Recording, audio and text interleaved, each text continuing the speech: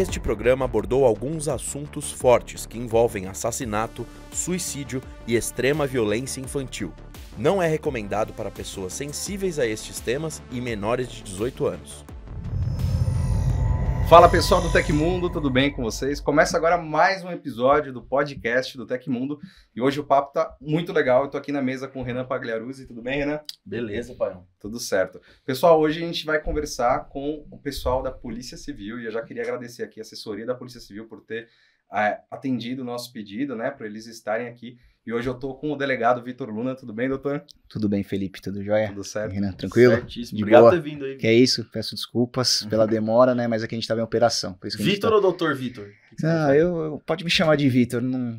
Pelo Então, cargo, né? Teria que ser Dr. Vitor, mas pode chamar de Vitor. Então, beleza. E a gente tá aqui também com o investigador Sérgio Hussein.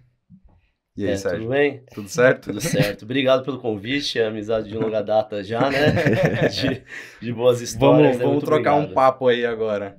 Pessoal, para a gente começar, eu queria saber é, é, de, de você, doutor, é, como que o senhor entrou na polícia? Assim, o senhor quando era criança já queria ser polícia? Ou, ou de onde que veio essa vontade? Surgiu essa ideia, né? Né, Desde pequeno, né? Aquela brincadeira, polícia e ladrão, né? Sempre queria ser o polícia tal, sempre gostei. Mas o que me marca mesmo foi uma reportagem que eu assisti quando eu, ta- quando eu tinha mais ou menos uns 12 anos, que eu vi qual era o trabalho da polícia, da polícia civil, especificamente da polícia civil.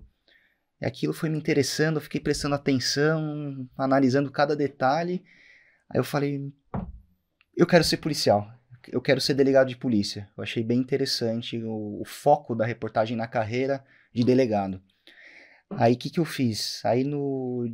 Olha que coisa doida, né? De, de presente de aniversário, eu pedi um código penal pro meu pai. Eu tinha 12 anos de idade. Com 12, Eu velho. com 12 anos de idade, vocês verem, né? E eu tenho guardado até hoje. Tava Um código penal, um mini código Tá penal, meu, uma dedicatória do meu pai. O fu- futuro brilhante do meu filho, né? Marcos de Freitas Luna, 1997. E sua família não era da Não polícia? tem ninguém. Ah, vai, minto. Eu tenho dois primos distantes Aham. que são policiais militares, né? Sim. Um é cabo lá em Taubaté, no interior, e o outro é um policial reformado que ficou muito tempo na rota. Aham, Mas de policial civil, eu sou o primeiro da família. Primeiro que escolheu essa profissão. legal. E tenho orgulho. Eu gosto pra caramba do que eu faço. E foi, a- foi o teu, entre aspas, primeiro tiro, você não trabalhou com outra coisa? Assim, eu, pra ser delegado, tinha que ter feito direito, né? Obrigatoriamente você tinha que fazer direito e também tem que ter né, de carreira jurídica. Eu fui advogado por quatro anos e meio. Eu, tive, eu prestei OAB, passei, tenho o número da OAB ainda, mas era uma profissão que não, eu não era feliz. O que, que faltava? Ação. faltava ação, faltava é, não ter rotina, que é o que eu tenho hoje.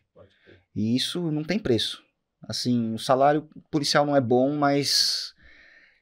Putz, eu não troco isso aqui por nada. Quando você Não tem- fala de não ter rotina, como, como é que é isso? Assim, você não tem um horário de entrada, um horário de saída, você sabe o que, assim, ah, amanhã eu vou fazer tal coisa, você não tem uma coisa muito definida, assim, as coisas vão surgindo e você vai fazendo. Justamente, a gente não tem uma, uma coisa definida, um roteiro, desculpa o termo assim, né? Um Aham. roteiro definido. Por exemplo, hoje a gente acordou às 3 horas da manhã para fazer uma operação. Amanhã pode ser que a gente acorde também 3 horas para fazer uma operação, pode ser que a gente possa entrar mais tarde, pode ser que no meio do caminho a gente trombe com uma situação de flagrante, prenda alguém. É, cada investigação é uma investigação diferente, praticamente não é nunca a mesma coisa. Isso que foge da rotina. Daquela rotina, sabe? De trabalho, Uhum. vai das 9 às 6, deu o horário, você solta a caneta e vai embora para casa. Isso não, não, não gosto. O pessoal falava, pô, doutor, quando eu fazia um trabalho mais burocrático, né? Falava, nossa, você tá chateado aí, né? Eu falei, é, eu queria estar na rua, né? Eu queria não ter rotina, tudo. Aí eles falavam, pô, você parece um passarinho preso numa gaiola. eu falei, é, eu quero voar. Aí por isso que eu, que eu tô bem feliz onde eu tô agora. Mas e a família? Como é que a família fica desse outro lado, assim? Eles entendem já? Ou no começo foi meio difícil entenderem essa rotina? Principalmente mulheres, às vezes, ah, tem aniversário da fulana, você vai? Puta, puta, não vou conseguir ter operação. Não, assim, no começo foi bem difícil, assim. Assim, minha mãe sempre me apoiou, teve orgulho e tal, mas no começo meu pai era um pouquinho reticente, falava, pô, trabalho difícil, né? Trabalho de madrugada, tudo. Mas com o passar do tempo, é, eu mostrando para eles que eu estava feliz e que estava fazendo um, um papel bom para a sociedade, eles começaram a ter cada vez mais orgulho de mim. E aí, apoio sempre deles, da, da minha atual namorada. é, aí, sabe, que- aquele negócio, aquela planta que é, que é regada Uhum, e vai ficando cada vez maior e cada vez mais forte. É isso, isso que me dá vontade de trabalhar todo dia, graças à força deles. Mas é aquilo, né? Eu ainda moro com, com os meus pais. Creio que em dois meses, enfim, eu vou morar com a minha, minha noiva, né, minha namorada, que ela já tá me cobrando há muito tempo, né? Eu tô enrolando faz É um tempo, né? Tô enrolando, mas agora vai. Mas Qual o toda, nome dela? é a Tuane, Tuane Matsumoto. Tuane Um abraço, Matsumoto, doutora um abraço pra ela e pra nossa filha que está para nascer agora em novembro. Ah, ela tá parabéns. grávida. Obrigado, obrigado. Aí toda vez que eu vou sair pra trabalhar, minha mãe faz questão de me acompanhar até o portão e falar: vai com Deus. Porque depois ela fala: não sei se você vai voltar. Isso que é de, de arrepiar, né? Arrepia. É, essa prof- nossa profissão tem, tem esses pequenos detalhes, assim. E, e são muitos os policiais que não voltam, né? Ultimamente é, tá tendo uma Cada série. vez mais, é, né? é, tá tendo um, teve uma época que teve muitos policiais mortos na sequência, né? Uhum, Mas é, é difícil. É sim. difícil. E você, Sérgio? Como você Ah. entrou na polícia, cara? A minha tá no sangue, né? Ah. Meu pai, policial civil aposentado. Então eu fui criado nessa, nessa linha, né? De ele se armando e tra indo trabalhar. Então, eu, geralmente o filho é reflexo do pai, né? Geralmente, não sempre. Então, quando eu me formei na, no ensino médio, já comecei um cursinho preparatório para Polícia Civil. Eu tinha 19 anos e tal. E aí fiz alguns concursos, não passei de primeira mão, mas e quando eu fiz 21, consegui eh, passar no concurso público. Aí entrei na carreira, logo que eu passei, mandaram já pro litoral a gente. Era final de ano, primeiro plantão, Fim Natalzão. de ano no litoral ainda. Natalzão, bombando. Ano novo também puxei, mas foi uma grande escola. Eu acho que, que essa questão que o doutor falou, não ter rotina, é o que alimenta a nossa vontade de sempre acordar 3, 4 horas da manhã. Se precisar não dormir, a gente não vai dormir. Eu trabalhei CLT antes, fui professor de informática em uma escola, trabalhei com Service Desk também em outra, outras empresas, e você só via que o mundo estava acabando depois você batia o cartão. Então Uhum. você não via nada, né? Era aquilo ali e acabou. E por mais que a gente esteja hoje em crime cibernético, é, são áreas de, de favela, de comunidades, são áreas de risco. Então no caminho você pode trombar alguma coisa. Então é, isso daí alimenta bastante aí a, a vontade de, de ser só policial. Eu não me vejo ho- hoje em outra carreira. Tá? Então foi um negócio de família. Além do meu pai, tem minha tia, minha prima, minha outra prima. Então, Sim. bastante policial civil na família. Entendeu? Então foi de família mesmo. Qual, qual o nome da divisão de, de, de crimes que vocês trabalham? Divisão de crimes Necessário, cibernéticos. divisão de Necessário. crime cibernético. isso. Divisão de É, crimes cibernéticos. é Como vocês chegaram lá? Eu só queria fazer um comentário antes da gente chegar nisso aí, que, que eu acho muito louco isso que ele estava contando, de que ele já tinha trabalhado com computação antes. E você vê como a vida vai encaminhando a gente para os lugares certos, né, cara? Assim, Exato. o, o- o Sérgio já tinha essa experiência em computação e hoje está no, no DC Cyber tentando é, fazer esse trabalho que é, que é fantástico de fazer, que é o novo crime digital que está crescendo muito, né? E a gente precisa cada vez mais de policiais preparados nessa área especificamente. Porque daqui a pouco, daqui o quê? 50 anos, a gente vai ver uma virada. Eu acredito que a gente vai ver uma Até virada. menos, né? É. Já tá vendo aí, quando veio a pandemia aí, teve a virada, né? É, então. Acho Que que, virada é essa? e que virada, né? Pô, uma É. virada de o que você fazia na rua, você vai ter que fazer sua compra de mercado pela internet agora. Sim, O cara vai vir te entregar, você vai passar álcool em tudo, não vai ter contato com ninguém, sim. né? Então teve uma grande virada, principalmente para pessoas de mais idades não É. estavam adaptadas a isso, né? E, e cada vez mais também a gente vai ver o- as quadrilhas de, de, de rua, né? Os caras de crimes sem ser digitais conversando com essa galera do digital, né? Eu vi hoje uma notícia de que as milícias do Rio de Janeiro estão levantando dados de, de inimigos, de policiais, dentro de bases da polícia e do Ministério Público. Os caras estão acessando Nossa. conseguindo acessar. Ou seja, a gente vai ver cada vez mais também essas quadrilhas aprendendo esse lado ruim da, da cibernético, né? Mas vamos pro que o Renan tava. Não, eu quero saber como que conectou uma coisa na outra. Porque assim, a gente vê que é, a- aqui em São Paulo a divisão de crimes cibernéticos é a maior do Brasil, certo? Se eu não estou enganado, acho que é a maior É, do Brasil, sim. mais importante aí. E mas ainda assim, a gente tem a sensação de que pela, pelo quanto o crime está crescendo, ainda não é totalmente suficiente, né? Sim. Por mais competente que o trabalho seja. E, e vocês são profissionais ainda raros no meio da polícia, né? Se parar pra ver, não é um- uma divisão ali que deveria ser muito maior. Sim. Como que vocês conectaram a carreira de vocês de polícia para esse lado da tecnologia, da informática? pode falar, pode falar. Obrigado, doutor. Imagina. É, como eu falei, quando eu entrei na polícia, eu já tinha passado por essa área de informática, sempre gostei de informática. Eu era aquela criança que desmontava o brinquedo assim que chegava para ver o que tinha dentro, não conseguia montar, quebrava o brinquedo, mas estava satisfeito em ver o brinquedo desmontado. Vários, vários inscritos nossos aqui é igual. É. É, é uma pegada. Era o prazer de ver a, a peça girando lá dentro e não o avião voando. Então, assim que eu entrei, eu fui pro litoral, trabalhei em São Vicente. Lá é, é uma área Barra, bem. É barra. Litoral de São Paulo, pra ficar claro, isso, São litoral de São Paulo, lá é Barra, mas é, tem um- uma área muito carente lá. Geralmente, quando tem áreas muito carentes, é onde você encontra mais laranjas beneficiários de fraudes bancárias.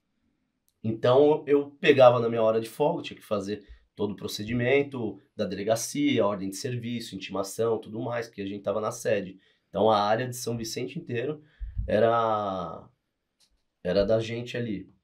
E aí, eh, na minha hora de folga, eu pegava esses BOs de estelionato e começava a ver o que conseguia. Até que eh, não foi estelionato, foi um roubo a uma residência, tá? Que a gente pegou, amarraram as vítimas, tinha pessoa de idade e tudo mais, eh, colocaram no banheiro, zeraram a casa, levaram o aparelho celular, TV e tudo mais. E aí a vítima veio fazer o BO com a gente, a gente fez uma entrevista preliminar, viu? O, a própria vítima trabalhava com informática, então ele sabia o que poderia trazer de informação para localizar quem estaria usando o celular dele, porque ele viu que estava conectado e estava sendo usado. Ele trouxe essas informações, tá? Com essas informações técnicas, a gente conseguiu o quê? Bater na casa do alvo que estava ali em posse do, dos bens, não só dessas vítimas, mas de outros roubos de residência, tá? Ele era o líder ali do, da, do grupo criminoso. E antes disso, no, em redes sociais e tudo mais, foto. Peguei uma foto, olha lá, as garrafas de uísque da vítima, eles dentro, ele com a namorada dentro do motel. O bicho falou, pô, essa garrafa é minha, cara. Essa blusa é minha que ele tá usando. O cara posta no Acabou. hotel, velho. Acabou, entendeu? Então. O cara não tem nem. Não, não tem. de- E se não é o cara, vai ser a menina. Se não é a menina, é o familiar. Se não é o familiar. É, é sempre assim. A gente não adianta a gente se proteger também nas nossas redes sociais se a mãe e o pai não fechou ali o álbum. Uhum. Vai chegar, entendeu? Vai chegar. Então, aí eu gostei muito, é, só que eu morava em São Paulo. É, fiz uma permuta, tá? Troquei com um policial, fui para a Zona Leste, fiquei um mês na Zona Leste e fui indicado por um, um grande amigo meu, o Dr. Renato Topan, um abraço para ele, que me cedeu uma vaga lá no Ministério da Justiça, no Cyberlab, no Laboratório de Combates a Crime Cibernético, é, onde eu fiquei um ano e lá eu me, me especializei de fato em crime cibernético. Lá tem alguns bancos, lá, né, sedes de bancos, onde a gente fez bastante contato. De lá surgiram muitas operações. Voltei, fui para inteligência, da inteligência fui para o DEIC para trabalhar com o doutor, com a doutora Nayara e com a- toda a equipe. Entendi. Doutor, o senhor, quando entrou no. O senhor não entrou no DC Cyber de primeira, até porque não existia, né? não, não, eu entrei na polícia em 2013. Eu, na verdade, 2012, né? Eu sou do concurso de 2011 para delegado de polícia. Tomei posse no dia 12 do 12 de 2012. Número cabalístico total, número maia, alguma Aham. coisa que falaram. E meu primeiro plantão foi no dia 24 de maio de 2013, no 49DP em São Mateus, periferia da periferia de São, Paulo. Mateus, São Mateus, Do lado da minha Lá da- da sua escada. Nascido lá. E- Nascido e criado. lá é uma região, né? É, conhece na- muito na- bem, na- né? Cuidado. Não, tá tudo bem. Tá tudo bem. Tá tudo Te bem. conheço de algum lugar, né? Não é estranho deixar essa barba crescer por quê, né? cara? Ele tava aqui antes, pô, ele é Vitor Luna, porra. O cara começa a se coçar, né? O terror do 49. Aí lá eu acumulava as delegacias de São Mateus, cidade de Tiradentes, Parque São Rafael. É uma região, uma região Tranquilo. bem. É, tipo, tranquilo, né? a gente brincava, Vietnã, o Iraque, lá era, era um, São Paulo. bem complicado. Fiquei quatro anos e meio lá. Aí surgiu a oportunidade de eu ir trabalhar perto da minha casa, na região da, da Casa Verde. Aí eu fui pro plantão da Casa Verde. Aí eu acumulava Casa Verde, Freguesia do Ó e o bairro do Limão. Aí eu fiquei mais ou menos uns três anos lá. Foi quando, enquanto eu tava dentro do 13, eu fui convidado a ser um dos pilotos do extinto Goi Decap, que era o grupo operacional que nós tínhamos aqui, que hoje em dia é o Garra. Que, na verdade, tinha o Garra e o Goi na época, né? Os dois se juntaram, mas só, só ficou o Garra, o nome do Garra mesmo. Os Uhum. policiais do Goi foram pro Garra. Eu era um dos delegados noturnos. Aí eu fiquei uns quatro meses no GOI, aí o GOI foi unificado com o Garra, aí eu voltei plantão do 13, aí eu fiquei mais ou menos uns três meses, aí eu fui convidado a ser titular do Cerco Norte, que é como se fosse o GOI, só que por seccional, da seccional Uhum. da região da Zona Norte de São Paulo. Uhum. Aí eu fiquei um mês lá, aí teve uma mudança de seccional, aí veio um novo seccional, né? Aí ele trouxe o delegado dele, aí eu voltei pro plantão do 13. Aí, repentinamente, do nada, eu tava em casa dormindo, aí eu recebi um convite pelo celular da, da doutora Nayara pra ser o assistente dela. Que ela falou, ó, Vitor, ah, você foi recomendado por outros Uhum. delegados, que você, falam que você trabalha bem, que você é muito proativo, eu gostaria que você trabalhasse comigo. E de onde que é a doutora Nayara? A doutora Nayara é a nossa titular. É a delegada titular da primeira delegacia de crimes cibernéticos. Ah, sim, sim. Foi aí o seu primeiro contato. Foi meu primeiro contato. E aí ela chegou a informação nos ouvidos dela, né, que eu era operacional e era muito proativo. Porque no plantão chegava uma ocorrência, eu tentava rachar o crime na hora. O que é rachar o crime? Rachar o crime é tentar é, identificar quem foi o autor Ah. e prender o cara. O mais rápido possível. O mais Dá rápido save, né, possível. É, às vezes a polícia militar me apresentava a ocorrência, eu pegava lá, ficava analisando, falei, meu Deus, onde que foi? Eu ia pro local, tentava levantar a câmera, tentava entrevistar a testemunha. E muitas vezes eu consegui rachar o crime assim. Teve uma vez que a polícia militar me apresentou, essa na época do 49, me apresentou uma ocorrência de incêndio de ônibus. A cobradora teve acho que 80% do corpo Que queimado horror. Que era um pessoal de uma invasão que tinha lá em Cidade Tiradentes, que tinha ido para a avenida protestar, acabou fechando o ônibus e tacou fogo com a cobradora dentro. Aí eu fui no local, fiquei olhando assim, tá, os PM só preservando, me olhando, eu com a lanterna, olhando canto por canto, aí num canto, escondido, achei uma carteira.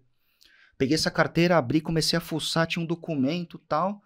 Aí eu pedi apoio do GOI, na época a gente conseguiu, fez uma operaçãozinha e pegou e descobriu o cara que tacou fogo no ônibus. A gente foi lá, buscou o cara e fez o flagrante nele. Isso é, tipo, é, é instintivo, né? É aquela coisa que a gente só vê em filme, assim, Só mas vem- que você tá num lugar, você já.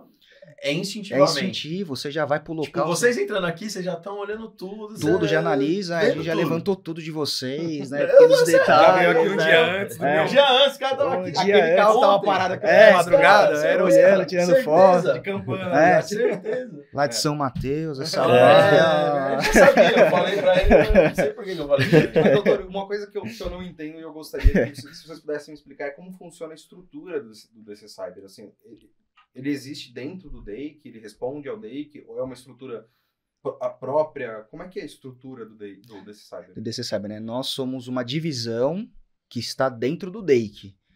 Ou seja, é, nós não podemos, assim, de acordo com o decreto, a gente não pode investigar todos os crimes cibernéticos que acontecem no estado de São Paulo.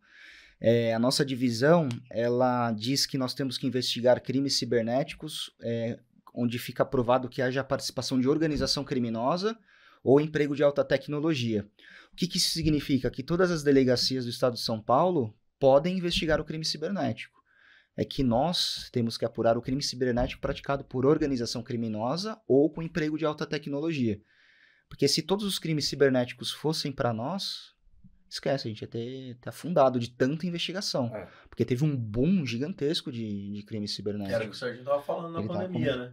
Então, Muito. um BO, as- assim, é, isso pode até ajudar quem estiver assistindo a gente. Sim. Eu sofri um golpe de Pix. Uhum. Eu vou ao DC Cyber e são vocês que investigam isso? Ou isso cai pro DEI, que Cai nas delegacias diárias. cai nas delegacias É. diárias? Aí, caso eles tenham algum tipo de dúvida de como fazer essa investigação, a gente tem à disposição deles o nosso laboratório e o nosso centro de inteligência cibernética, Entendi. que são policiais altamente especializados que ficam à disposição de todos os policiais civis do estado de São Paulo para tirar dúvidas e para orientar como que a investigação deve ser feita. Que bacana. Pouca gente sabe. É, Inclusive, os próprios policiais não sabem É disso. é. Então, é, tem muita gente que manda as ocorrências para nós, para as pessoas fazerem os boletins de ocorrência na nossa delegacia, na nossa divisão, né? Só que, na verdade, a gente manda de volta. E a gente faz, fala para eles, ó, a gente tem um, um- corpo especializado que, que, te- que ajuda vocês, que auxiliam vocês na, na investigação desse tipo de crime. Porque é aquilo que eu havia dito anteriormente, né? Porque se todos os boletins de ocorrência forem para nossa divisão, em um mês não tem É. condições. Eu- É eu muito vi- crime. Eu vi alguma vez alguém falando isso, que muita gente compara, fala assim, ah, a Polícia Civil de São Paulo resolve só 6% dos crimes que atende, só 8%. Aí todo mundo fala, nossa, que baixo, não sei o que. Aí a pessoa fala, não, mas a SWAT resolve 40%, 60%. E aí eu vi um cara explicando, falou, mano, a SWAT atende, vai, 100 casos por mês. A É. Polícia Civil de São Paulo atende um número Milhões. não tem Milhões. gente necessária para conseguir Sim. acompanhar a quantidade de trabalho que tem, né? Sim, Não, não- quer dizer, a- não é a qualidade do policial, é a demanda que É a demanda. Que é policial... muito alta. É né? muito- e muito essa alta. porcentagem de 6% ou 8%, eu não sei se É, eu não sei, exato, não é o número... Mas já é muito alta, né? Dentro do todo. É, o, o filtro mesmo disso daí seria uma lei forte, né? Não dá pra comparar um crime cibernético aqui no Brasil um crime cibernético nos Estados Unidos, né? Qual a diferença? Lá é um crime federal, parece que é crime federal, né? Contra a economia federal, se eu não me engano. Foi isso. o que ele falou. Então a lei é muito rígida. Os bancos. é, Tanto que a segurança dos bancos lá, segundo ele, não é tão forte quanto aqui. Porque afrouxou a lei, a segurança vai ter que ser maior, Uhum. né?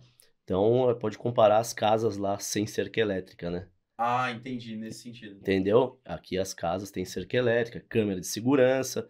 Por quê? O cara vai pular lá, não vai ficar preso. Aqui é um golpezinho cai como estelionato, né? É estelionato. Ali a bem- punição é é, mais. É mais severa, mais firme. é mais firme. Então, se a lei fosse mais rígida, eu acho que diminuiria bastante é, essa questão. E tá aumentando, né? Tá, tá tendo modificações de, de, da lei do... Legislação. da- isso, o 171 já tá, que é o estelionato, tá modificando e tá aumentando a pena. Então, tá, tá tentando Mas acompanhar. vocês acham que talvez a legislação não está enxergando o tamanho do problema ainda? Eu Acho que já tá enxergando, né? Aos pouquinhos tá, mas acho que falta, falta se movimentarem mais para dar uma, uma apertada né, na lei. Porque antigamente, no estelionato, a pena era de 1 a 5 anos. No ano- Em maio do ano passado houve alteração legislativa e esse- o estelionato, né, a fraude eletrônica, foi de 4 para 8. Aumentou, aumentou, legal, beleza.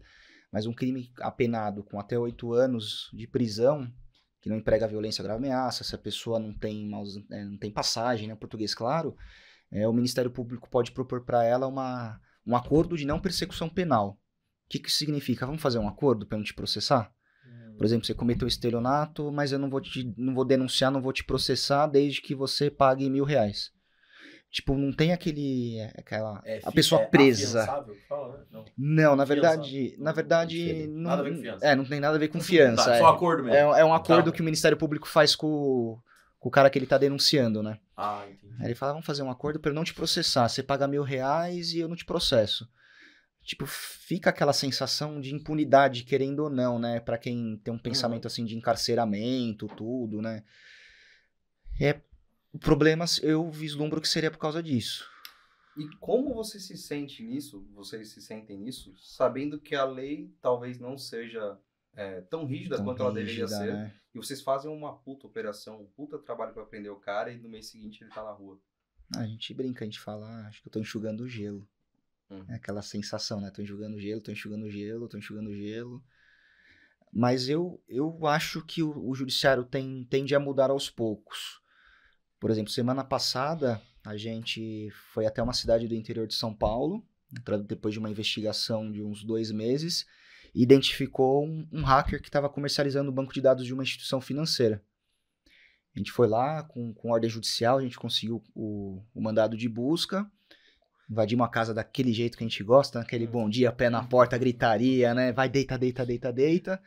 É, encontramos o banco de dados no computador do, do, do, do do moleque de 18 anos. O moleque é um gênio. Moleque. O moleque é um gênio. Conversando com ele, ele fala: Não, eu consegui esse banco de dados porque eu invadi o computador do hacker que tinha invadido o banco.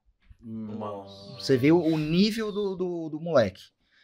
Aí a gente fez, fez, eu fiz o flagrante nele, né, de receptação, encontramos documentos falsos também na casa dele.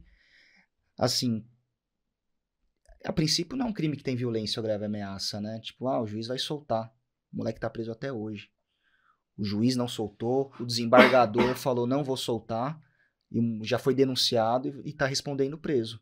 Ou seja, aos poucos você percebe que o poder judiciário está mudando, Uhum. Sabe? Tá havendo entendimento maior também da Sim. situação, do, do tamanho do crime. Porque Do às tam- vezes o cara não, não usou arma, ou não teve grave ameaça física, mas causou um prejuízo, um dano muito maior do que. Não, Não, e os- incomensurável. E os sim. caras, eles não enxergam, às vezes, a vítima do outro lado, né? O, o- Justamente. o caso da Marieta que a gente trouxe no primeiro episódio Sim. do Realidade Violada, né? Sim, Pra quem não assistiu, fica aí, a gente vai Fica a colocar dica, vai colocar card. o card. excelente. A Marieta tomou o golpe do motoboy, ela perdeu cerca de 13 mil reais, né? Uhum. E que era o único dinheiro que ela tinha lá. da vida inteira. Ela juntou a vida inteira, 13 mil reais, e o cara levou tudo. E ela entrou na justiça para conseguir de volta, conseguiu 4, 5, né? Mas não conseguiu tudo. Hum. Aí você vê, o, o- qual que é a gravidade disso? Ah, porque não foi físico, porque não teve arma. O cara, mesmo que seja uma quantia, que para muitas pessoas pareça baixa, a vida inteira, para ela Pra era, ela é o remédio dela, pra ela é o, é o médico. remédio, exatamente. Sim, É sim. a, a verba de emergência ali, alguma coisa. É muito grave, cara. É muito grave. E, É muito grave. e a legislação enxergar a gravidade disso é muito importante também, né? Sim. Por isso que nós, da Polícia Civil, em geral, que- qual que, é, que a gente faz, né? A gente visa, quando faz esses cumprimentos de mandado de busca, fazer a apreensão dos bens do criminoso, Uhum. para posteriormente o judiciário leiloar e esse dinheiro ser revertido para a vítima que teve prejuízo. Isso é possível? É possível. É possível. Olha só. Por isso que a gente, ah, teve apreensão de carro, tal. Prende tudo. Prende tudo, o juiz, ó, a gente apreendeu, le- leilou esse carro, o dinheiro fica depositado na conta do juízo, né? E quando transitar em julgado, quando o cara foi condenado mesmo, né? Pega esse dinheiro e ressarce ele. E qual foi a coisa mais absurda que vocês encontraram na casa de um hacker? Tá difícil falar, Certo, né? tem uma Assim, história. tem história que não dá pra falar. Mas em termos de. Vai, não, tudo De bem. valor? Mas de carro, de, de, de Ah. computador, de casa. De carro? Você fala, não, isso aqui é um uma hacker. garagem com duas Ferrari, duas Lamborghini, uma Maserati e uma BMW que eu não eu achei que só existia em jogo de videogame, eu acho que é. Era a casa do CJ. É, o CJ usando cheater, né? É um dinheiro Total, né? infinito, né? Porque, porra, então essa daí foi absurda aí, foi. Foi, foi a maior que, que eu participei, né? Foi a Ah, maior Como que eu foi pra participei. chegar nesse cara, assim? É, tecnicamente a gente não pode Sim, sim. entregar, mas Uhum. é, quando eu estava no Ministério da Justiça, foi uma, um trabalho em conjunto com diversas institu- instituições financeiras, com policiais de todos de quatro estados do Brasil, e aí achamos um, um, um cadastro do cara que estava fazendo de fato ali perdido na em fontes abertas mesmo, estava ali, a gente fez uma pesquisa num, num site específico que mostra um histórico daqui, do, da pesquisa da palavra da palavra-chave que a gente estava utilizando, que estava lá como um vestígio lá na investigação. Dele partiu para o hacker, do hacker para esse cara, e aí foi uma segunda fase. A gente pegou ele aqui em São Paulo. Um era de Palmas, outro Goiânia, e ele de São Paulo. E aí é- ele foi a segunda fase, que foi também no Follow the Money, né? A gente foi seguindo o dinheiro do primeiro até chegar nele entendeu? Mas são diversas pessoas envolvidas, né? Fica é, muito complicado você fazer uma operação com 200 pessoas envolvidas. Então a gente é, seleciona aquele que mais é, dá visibilidade e está ostentando, né? Porque ali dá pra ver que Sim. não tem lastro financeiro pra ter aquilo. Mas vem cá, as empresas costumam ajudar vocês ou elas são meio reativas? Né? Porque às vezes, por exemplo, vocês vão rastrear um cara, vocês precisam encontrar um dado X, vamos usar de exemplo um iFood da vida. Ah, quero saber se ele pediu um iFood e tal data. Essas empresas costumam entregar esses dados, ajudam vocês nisso ou não? Elas costumam ser mais reativas e não sei o quê. Doutor. Não, tranquilo. É, como são dados cadastrais, né? A Polícia Civil, por lei, a gente pode requisitar, a gente pode ordenar que, que as empresas nos forneçam esses dados. Facebook, né? Sim, os dados cadastrais, é. Uhum. Tem que ser dados cadastrais de acordo com a lei, é endereço, X, y, nome, essas coisas. É, o iFood sempre ajudou, sempre ajudou a gente, a gente nunca teve problema. Mas, é, mas é difícil a gente precisar assim, né? Tem É. outros meios, É, né? outros meios de, de É, a levantamento. gente não, não costuma, assim...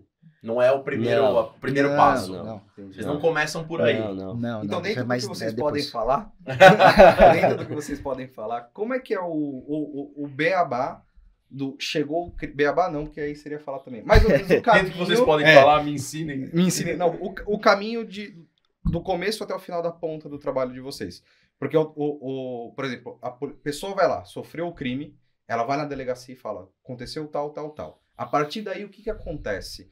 É, vocês investigam e aí fazem a operação? Como é que acontece normalmente? É, a a notícia crimes, né, que a gente Uhum. fala, ela pode chegar pra gente de diversos meios, né? Pode chegar através de um boletim de ocorrência, através de uma petição da vítima, do banco, por exemplo, que nós somos da delegacia de, de crimes contra instituições financeiras. Pode chegar por ordem do Ministério Público, por ordem do juiz, para a gente instaurar uma investigação. Basicamente, chega através desses meios. Aí vai pro delegado de polícia, ele baixa, é, ele baixa a portaria que a gente fala, né? Uhum. é instaurado o inquérito policial.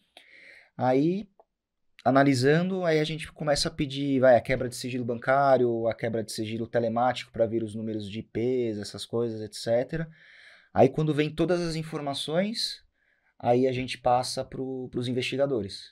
Aí é o trabalho do É o desse trabalho- cara aqui. Esse cara é sensacional. Ele, ele, parceiro dele que tá ali escondido, tá- o Jean, é, e os demais Uhum. investigadores da delegacia, tipo, é um time fantástico. Eles, tipo, você não precisa falar pra eles fazer o que eles têm que fazer. Eles pegam aquelas informações e fazem uns relatórios fantásticos que você fica lendo e você fala, meu Deus do céu. É. E os caras manjam pra caramba. E aí, com todo esse material, você vai, você estuda a fundo o caso. Estuda a fundo. É. É bem técnico o material, né? Vem, Ah. Às vezes não vem estruturado, então você tem que estruturar. Então, é... existem investigações fáceis e as difíceis, né? As difíceis é o que a gente mais gosta, né? Sim. que é onde a gente mais aprende a investigar.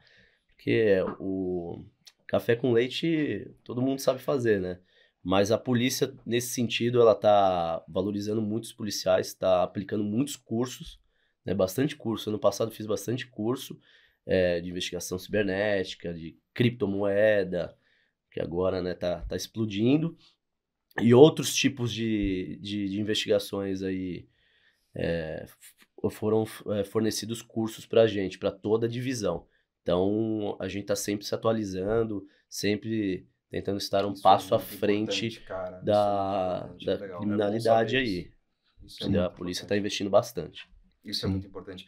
E de coisas que vocês podem falar de aparelhos que a polícia tem, assim, porque vocês devem ter alguns aparelhos assim. Eu, como cubro editoria de saber e segurança, sei que vocês têm um Celebrite lá, para abrir celular e não sei o quê. Vocês têm mais alguma coisa ou são só que vocês podem falar ou falar, não, não podemos falar?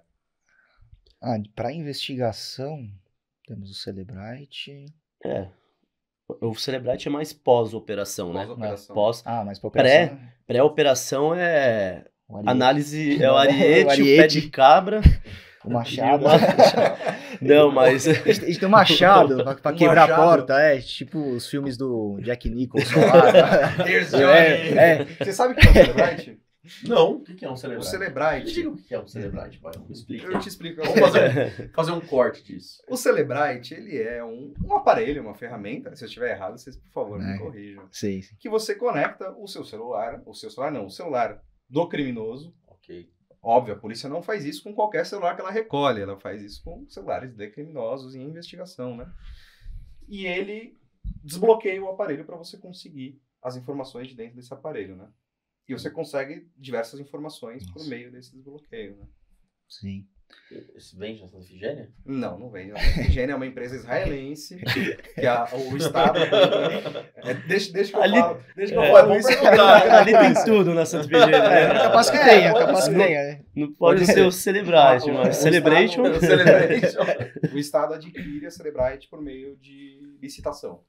Ah, ok. É um. Então é como se fosse uma, ma- uma máquina Isso. desbloqueadora de celular Isso. israelense. Isso. A melhor que tem no mundo. Isso é muito hoje. foda. É absurdo. E é uma marca, E isso? vai Android- É uma é, marca. Celebrite é a uma marca. empresa que É uma desenvolve empresa. essa máquina. Exatamente. E, eles desbloqueiam Android, iOS, é, enfim. É, essa máquina foi muito importante em casos como esses dos atiradores em escolas que a gente teve aqui em São Paulo, né? Desses meninos, a gente teve em Taubaté, né? Foi Taubaté? Suzano. Suzano. Suzano. Suzano. Teve o de Suzano, Teve um É. recente que foi evitado também pela polícia agora. teve. Ah, Ma- Mas, a Celebrite é usada no pós, né? Então, nesse caso do Suzano, provavelmente foi, não sei se eles podem falar, provavelmente ela deve ter sido usada é, no celular dos meninos que realizaram? Pra identificar onde comprou munição, Sim. essas coisas, como foi planejado.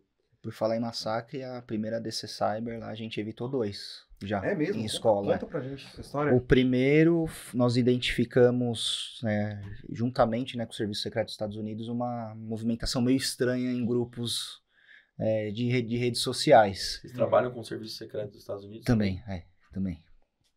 E eles ajudam a gente pra caramba. Agora eu fiquei curioso.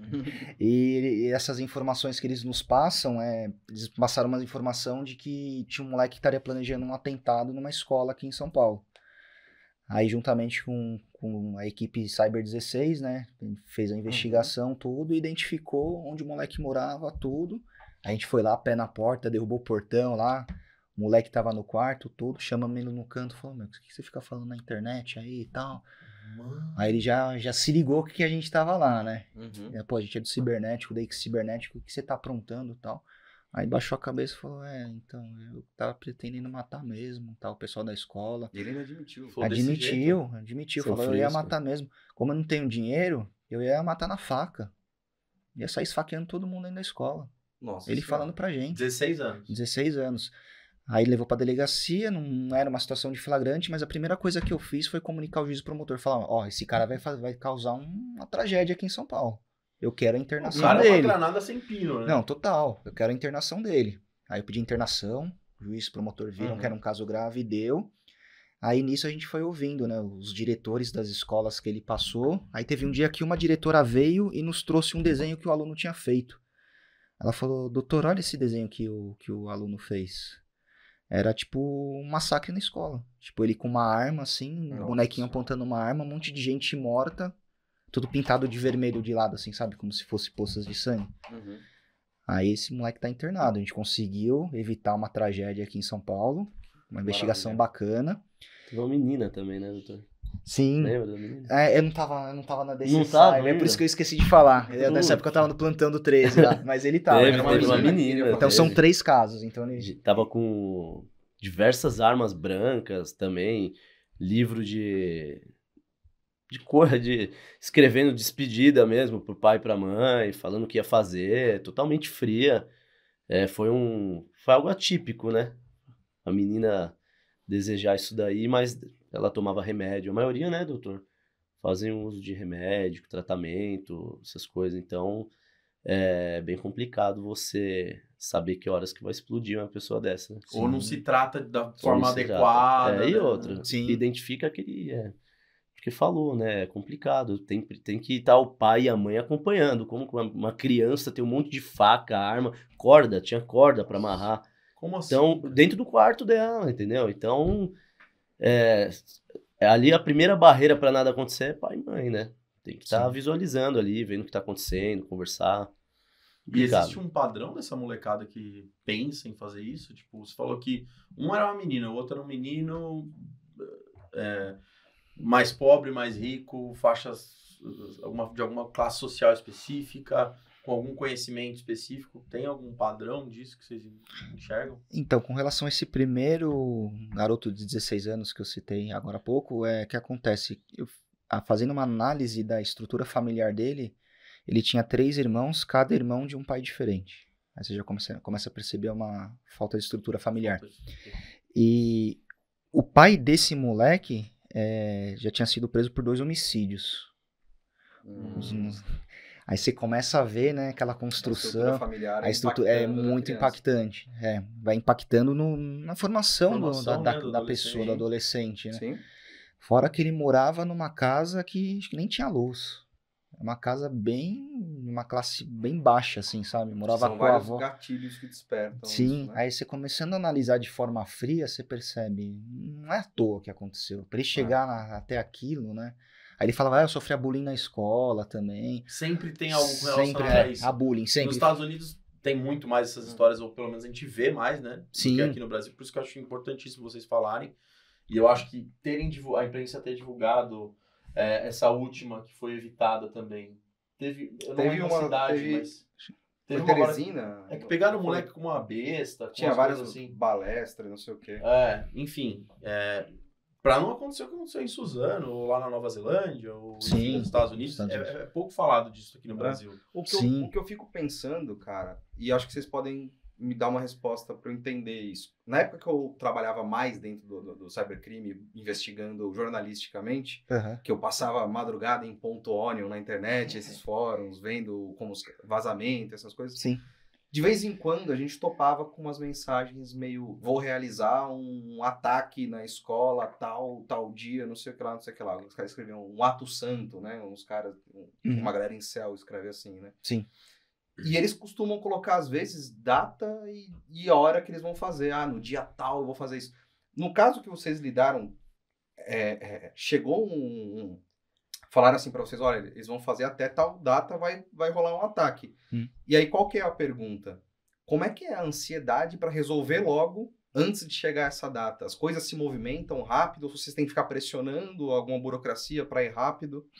Nesse caso, quando a gente tem uma data certa de que vai acontecer uma tragédia, é, nesse caso a gente não precisa de da autorização judicial para poder pedir, por exemplo, o número de IP. Nesse caso, Uhum. como uma situação emergencial, Facebook, Instagram, as demais redes sociais, é, eles meio que autorizam a gente a pedir sem a quebra do, do- sem autorização judicial, sabe? Porque é uma coisa emergencial. A legislação permite isso. Aí a gente consegue resolver. Foi isso que aconteceu né, no caso da menina do, do ataque na escola? Foi, foi, foi emergencial. Foi emergencial. Então no, no dia seguinte já tinha Já tinha tudo, já. mandado de busca praticamente pra casa. Já emite mandado. É. Já. Tanto que foi um final de semana.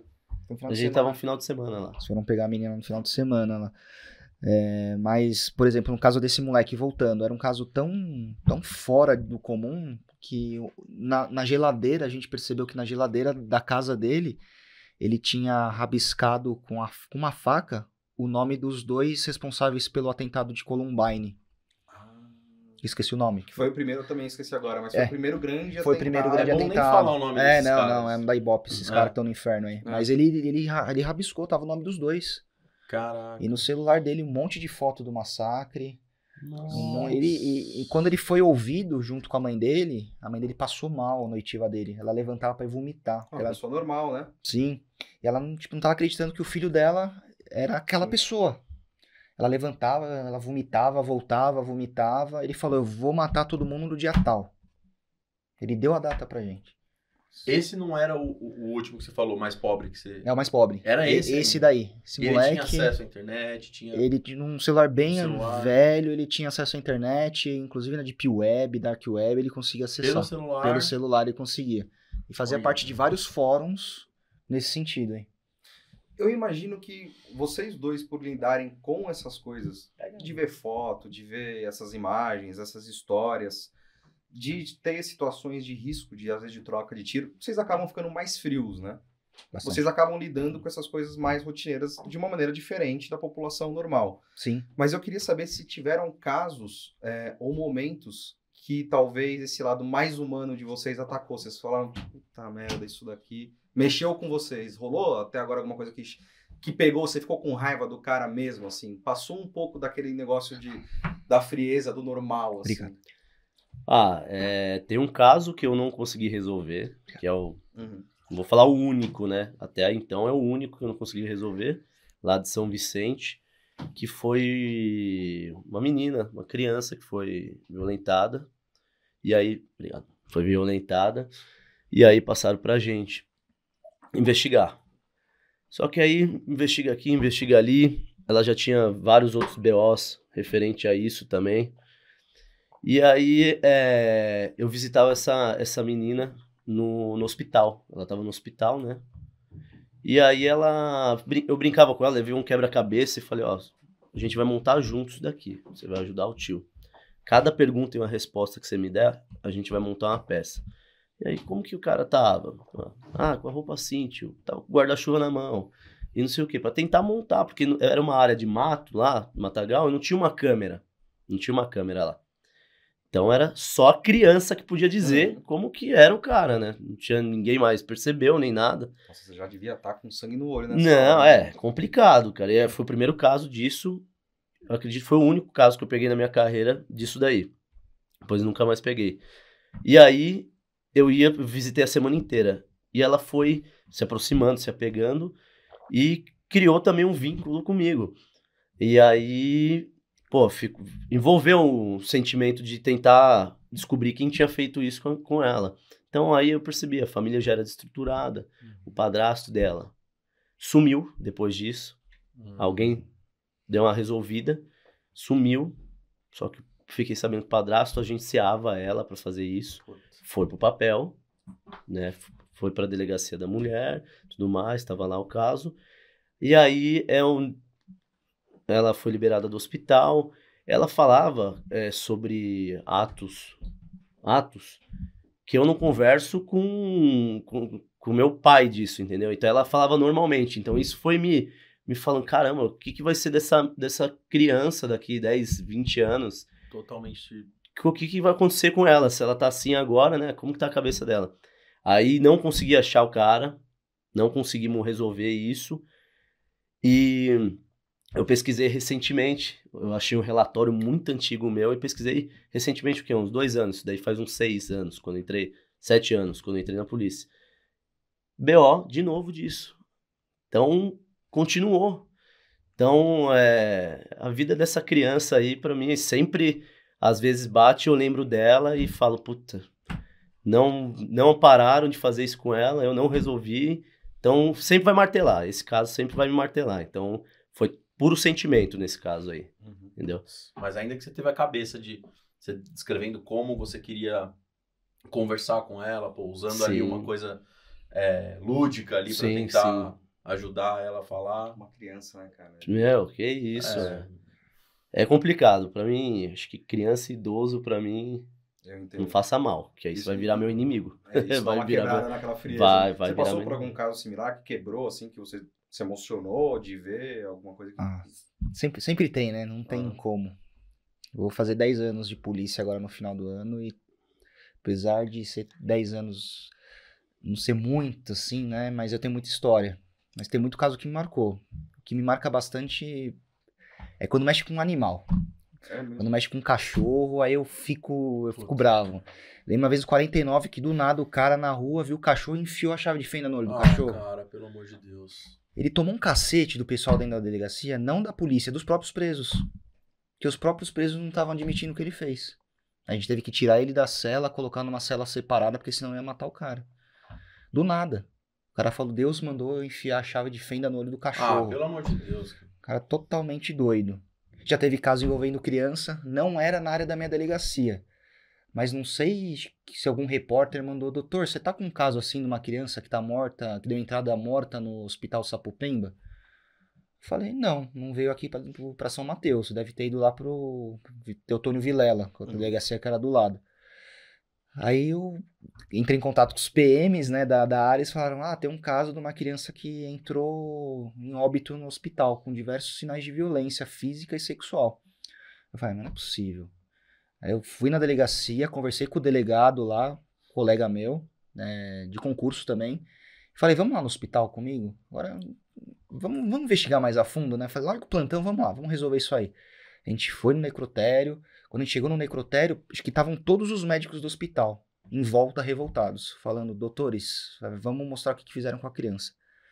A criança tava toda roxa.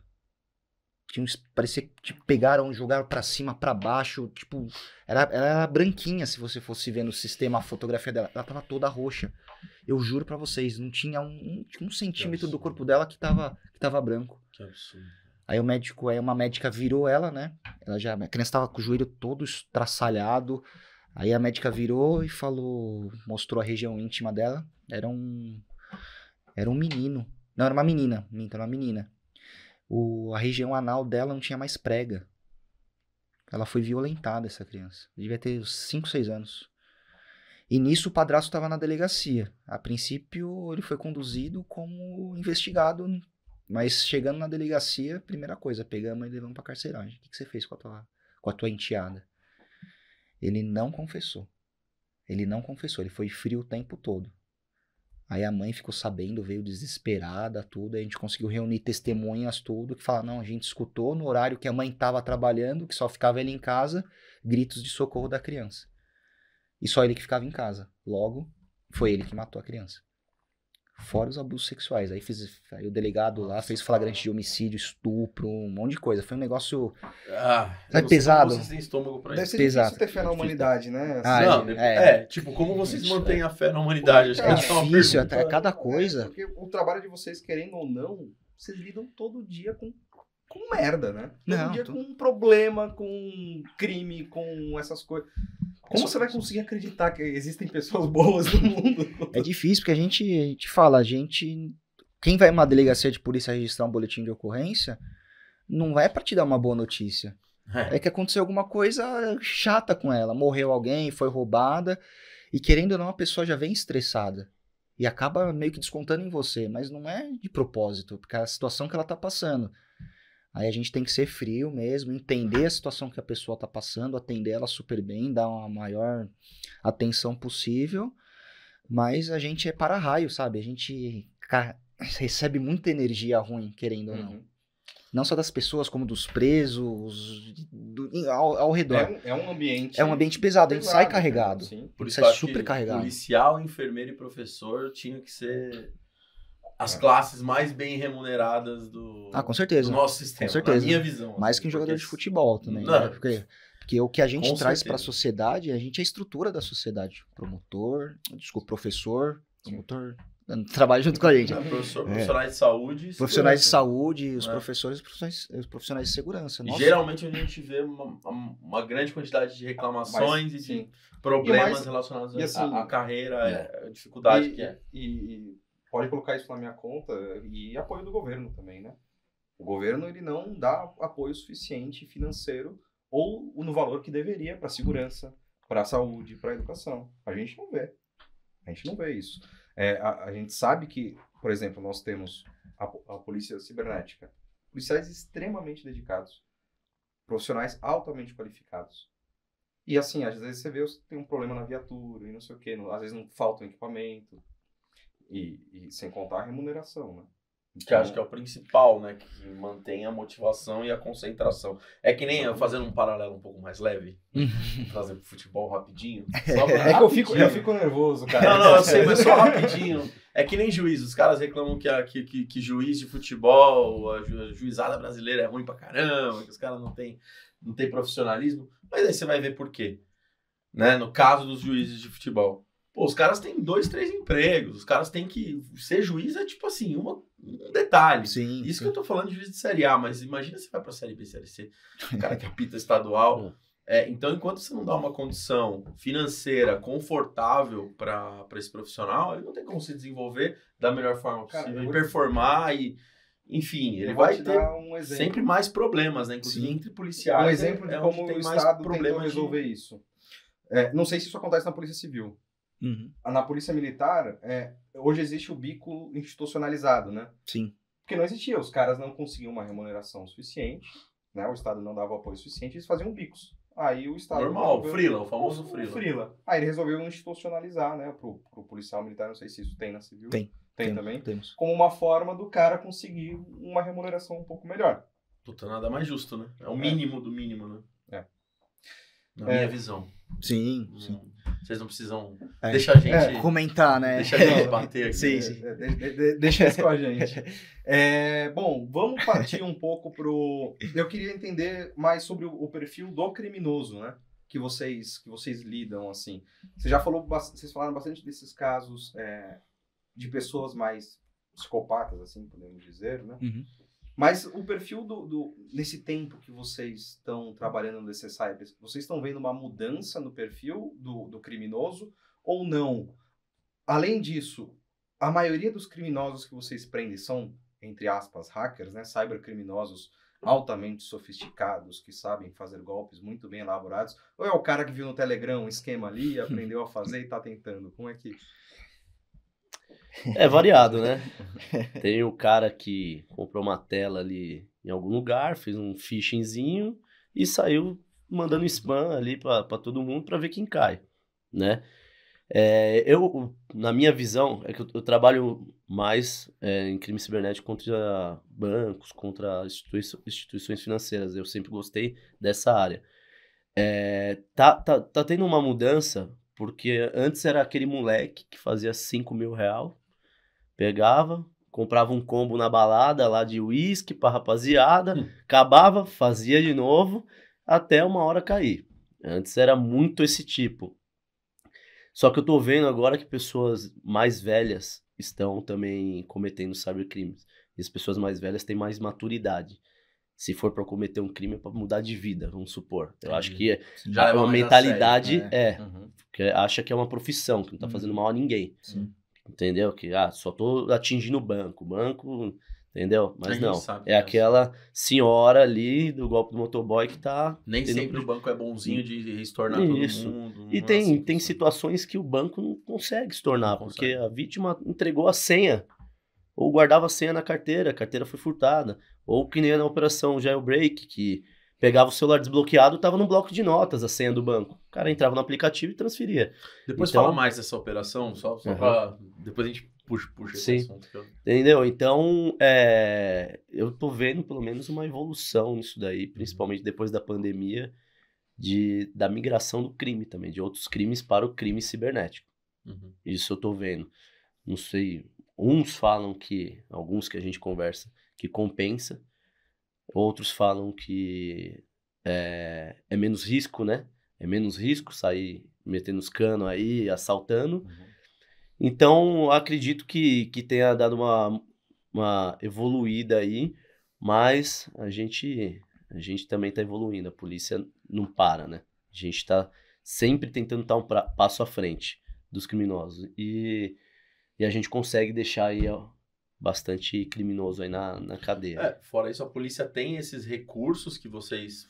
Assim, tem a, a máquina aqui que o Paião explicou no começo do episódio, para Sim. quem não tava aqui, é o A Cele- Celebrite. a Celebrite, que já é mais popular, mais conhecida, mas tem outros métodos aqui que eles não vão falar, não, não querem revelar pra gente, Sim, sim. com toda a razão.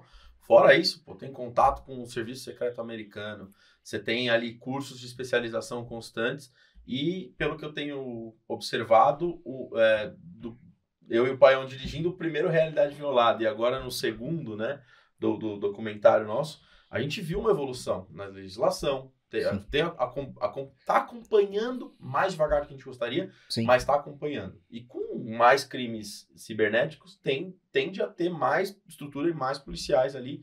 A gente teve visitando o, o- a divisão de vocês há cerca de três, quatro meses atrás e, assim, é uma estrutura e tanto. Assim, Sim. né? É, tá linda sim. a divisão, é nova. É. Então, assim, você Os vai visitar outros atrás, né? departamentos já mais antigos, você vê assim, lá tá super bonitinho, tudo novinho. É. Sim, sim. Lá tá, tá bacana.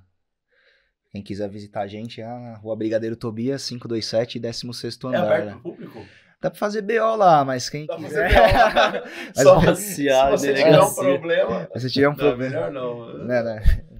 Não nos queira nos visitar se você não É, for o mas criminoso, se né? precisar, Mas se precisar, a gente tá à obviamente, disposição é, sempre da claro. população.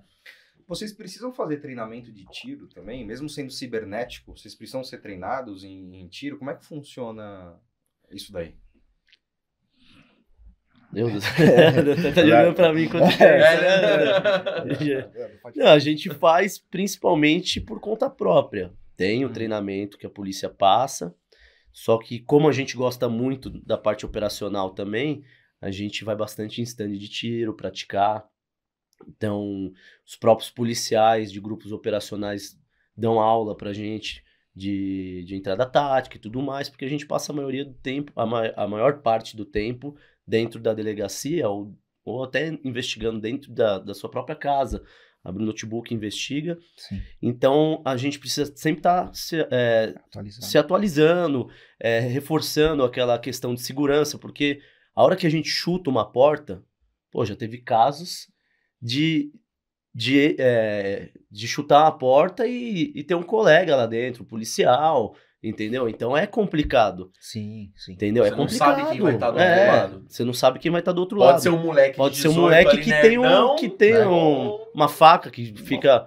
Um cara desse daí que, que quer fazer atentado na escola Um cara que vir pra cima da Às vezes gente. viu vocês chegando. Viu chegando, prepara. entendeu? Sim, E até mesmo no deslocamento. A gente passa por áreas de comunidade pra chegar no laranja que recebeu 150 mil reais na conta. E o caminho, pode ter um assalto a, a carro forte no- na, na rodovia, pode ter um ponto de tráfico de drogas ali que o cara vai achar que é pra pegar eles, mas a gente tá passando, entendeu? Então a gente tá sempre se atualizando. Sempre se atualizando. Uma coisa que você falou que eu, que eu queria deixar claro aqui pra galera, que eu sempre, no começo, achava estranho, mas hoje eu entendo completamente. A gente fala de chutar a porta com uma certa naturalidade. Vocês também Uhum. falam, eu já falo hoje, os caras chutaram a porta e foi. Por que que precisa chegar chutando a porta? Tem um porquê. Tem um porquê. Então, crime cibernético é aquilo. Se você não pegar o cara dormindo, ele vai lá, aperta o botão do, do computador e some com todas as provas. É, é aí que eu queria chegar. Pega o celular, É. joga pela Que janela. o switchinho do computador ali, né? É, o botãozinho, é um botão já. Botão de emergência. Ele liga o botão de emergência. Você precisa ser muito rápido. Tem até um, um Sim. vídeo é, Tem É. alguns vídeos na internet. disso, né? Dos caras tem. tentando apagar o conteúdo. Tem um Tem. Já aconteceu isso? Tem o nosso. Tem o nosso, a gente teve um caso nosso aí, que foi do moleque que praticava fraudes contra um banco, um banco digital. A gente foi cumprir o mandado de busca. Era no Bank? Não, era um outro banco. Eu não recordo. Pode, pode falar? Eu não recordo. Ah, a Daicoval. é um banco. Tudo bem. Banco digital. um banco digital. Aí, nesse local específico, foi cumprir eu, o Serginho e o Jean. Tá escondido ali. Aí o que acontece? Já é a paisana. É paisana, né? Ele não quis tipo, participar, é, tá na campana ali, olhando o que, que a gente tá falando dele. O Jean pode estar aí na sua cola e você não sabe. Não sabe, ninguém vai saber quem que é o Jean aí. Aí a gente foi cumprir o mandado, a mãe dele abriu o portão e falou: ah, ele tá lá no quarto dele. Aí o quarto dele tá trancado. A gente bateu, bateu, bateu, polícia, polícia, polícia. E a porta era meio com aquele vidro meio fosco, sabe? Que você não consegue enxergar direito. Uhum. Aí você já percebeu o moleque levantando e indo pra um canto do quarto que tava iluminado. Aí já deduziu, é o computador. Aí nisso a gente chutando a porta, a porta quebrando, abrindo, a gente gritando. Pra evitar que ele chegasse Sai no do computador. computador. Aí eu consegui abrir a janela, apontei o fuzil na janela, falei, sai do computador, senão eu vou te matar. Sai, sai, sai, sai, sai. Apertou o botão. Filha. Travou tudo, a gente arrebentou a porta, já pegou o moleque, já jogou no chão, foi mexendo no computador, o computador todo travado. Mas ele foi besta, ele travou na hora que tava uma tela aplicando golpe no outro banco lá, sabe? Travou errado, apertou o botão errado. errado. Ó, seu trouxa aí, ó, você travou com, com uma fraude né, ao vivo pra gente aqui. Flagrante. Já era. Mas no Delegacia. PC travado assim, vocês conseguem depois Sim. extrair alguma coisa? Não, sei. mas, mas, pô, imagina, às vezes o cara tem. O cara é hacker. O cara tem um botão lá de. Não, tem, tem alguns, uma- algumas paradinhas pra apagar tudo. É. Mas, mas eu mesmo assisti assim Mr. é Robot, tá É, ligado? o Celebrity. Mas o Celebrite recupera. O Recupera. Celebrite É? é, Recupera. recupera. Ah, então vai, trouxa, não adianta. assim. Agora, sim, a gente tava falando de. Por que, que eu perguntei de se vocês treinam é, tiro, Sim. disparo, essas coisas? Vocês já se viram no meio de tiroteio? Já, já aconteceu com vocês Eu alguma coisa assim? Comigo, você já. Em São Mateus já. É mesmo?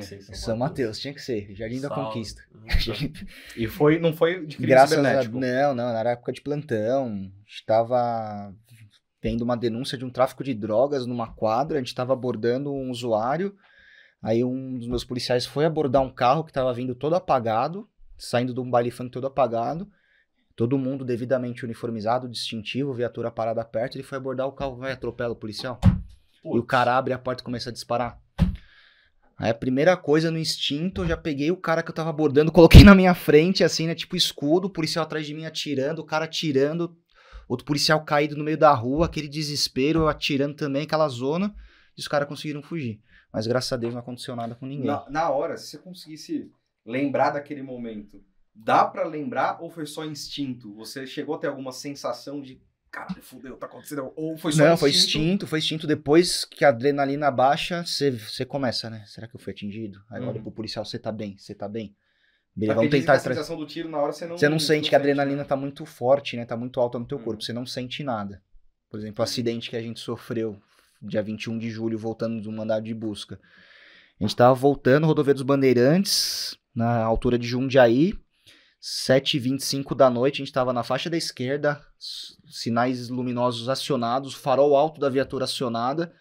Um cara vai e sai do, numa lanchonete, acho que era do Graal, sai e vai cortando todo mundo, vai cortando a, fa 4, a faixa 4, 3, 2 e entra bem na nossa frente. Não teve tempo de brecar. Nossa. Aquela pancada, eu já segurando no puta que pariu, né? Já vendo, vai bater, vai bater, já segurando puta que pariu. Na hora que bateu, já estourou o airbag, eu já fui pra frente. Aí a viatura foi pra segunda faixa, aí veio um carro, bateu atrás da viatura, aí a viatura rodou na rodovia. Nossa. Eu segurando, só vendo os caminhões desviando, só fechei os olhos e falei, agora eu vou morrer. Só vou esperar o impacto, né? Que minha morte não seja dolorida, que eu acorde no céu, no inferno, não sei o que eu fiz aqui na terra. Aí a viatura parou, olhei pro lado, assim, os caminhões desviando, parando pra poder socorrer a gente. Olhei pro policial do lado. Tô bem, doutor. O airbag tudo estourado, aquele cheiro de airbag na viatura, Nossa, vidro estourado, aquela zona. Aí eu abri a porta da viatura, né? Tirei o cinto, abri a porta da viatura. Aí eu sim- comecei a sentir dor no peito. Aí eu agachei na rodovia, respirei fundo. Aí eu falei, meu, vai causar um outro acidente. Tá vindo muito carro rápido ainda, né? Mas não tinha nada no peito. Nada, Foi nada. só Foi só impacto, é do impacto. Eu falei, meu, vai acontecer uma tragédia. Aí eu fui lá, desesperado, pe- abri a porta da viatura, peguei meu fuzil, liguei a lanterna e fui desviando os caminhões, mostrando, ó, tem um acidente. Porque a viatura era toda preta, né? Viatura operacional. Tava escuro na- no local. Falei, meu, dois palitos pra acontecer um acidente e matar todos os policiais e, e já era. Aí nisso, desviando o trânsito, o pessoal parando, ligando pro bombeiro, pro, pra rodovia lá, CCR. Aí o, o policial que tava dirigindo virou pra mim e falou: Doutor, olha, o- olha o Fabrício. O Fabrício era o policial que tava no banco de trás. No momento da pancada, tipo, esqueci do Fabrício. Eu só olhei pro Sandro, olhei pro lado e falei: Vou ter que evitar uma tragédia antes que batam na viatura. Aí nisso ele saiu da viatura todo ensanguentado, falando: Doutor, eu tô morrendo, eu tô perdendo muito sangue. Aí você olha aquilo, né? Seu, seu companheiro de dia a dia, machucado, desesperado. Aí eu falei pro outro policial, pro Sandro, ó, fica com meu fuzil, vai direcionando o trânsito.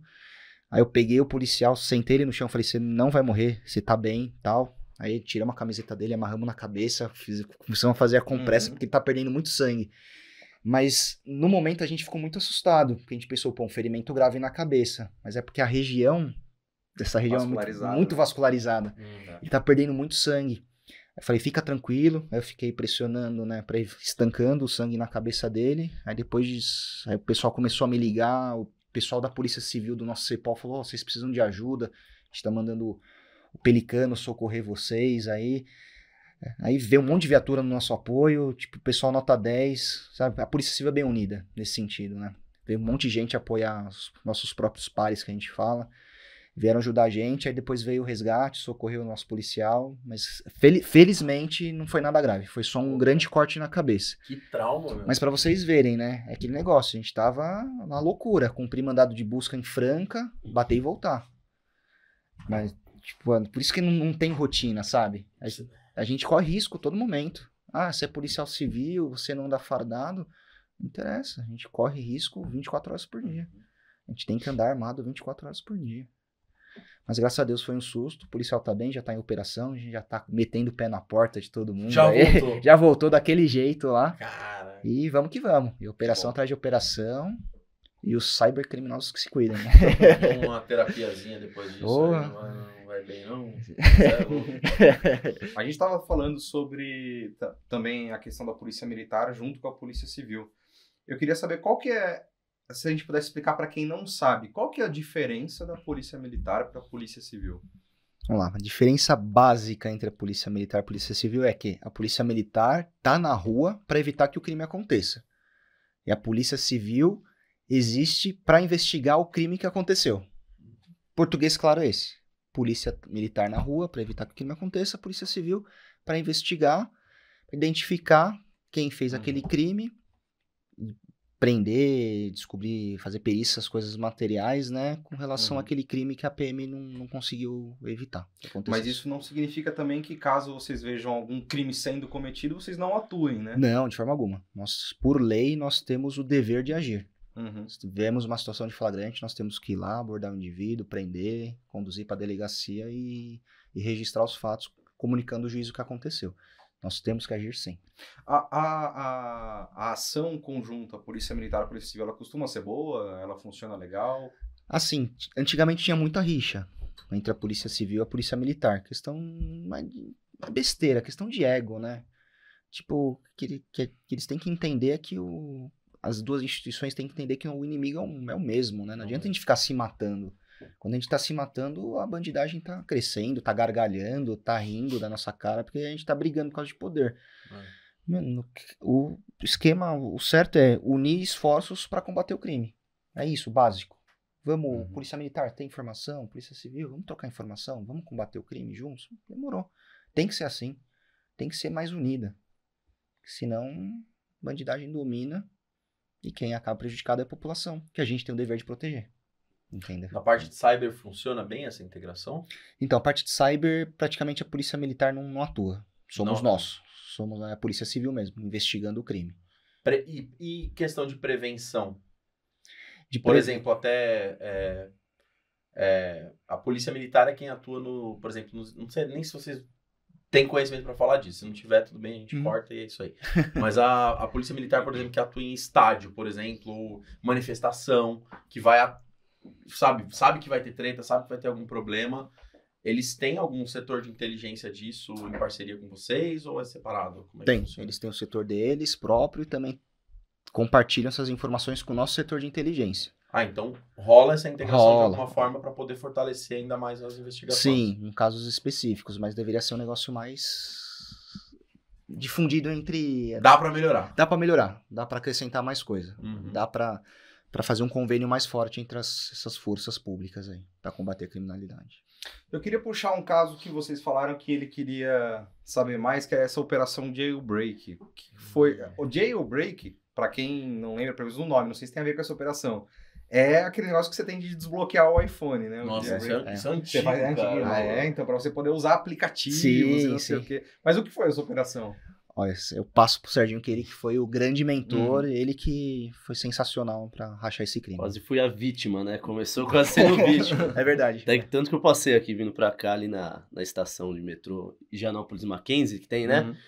E o que que acontece? Eu tava fazendo um curso na GCM de drone Paul. De, pô, e a GCM é Paul. drone Paul, a GCM ela, ela faz esse curso para os policiais para habilitar ele a pilotar um, um drone. Então é bem Ah. legal, é bem interessante. A Polícia Civil tem, né? Tem, né, lá no SAT, se não me engano, Sati drone. o SAT drone, a Polícia Militar tem, a GCM tem, é muito interessante. Porque faz o acompanhamento aéreo ali da operação, é, faz o mapeamento, é, meu, é sensacional. Aí eu saí com o celular na mão, vendo o GPS, saí da estação.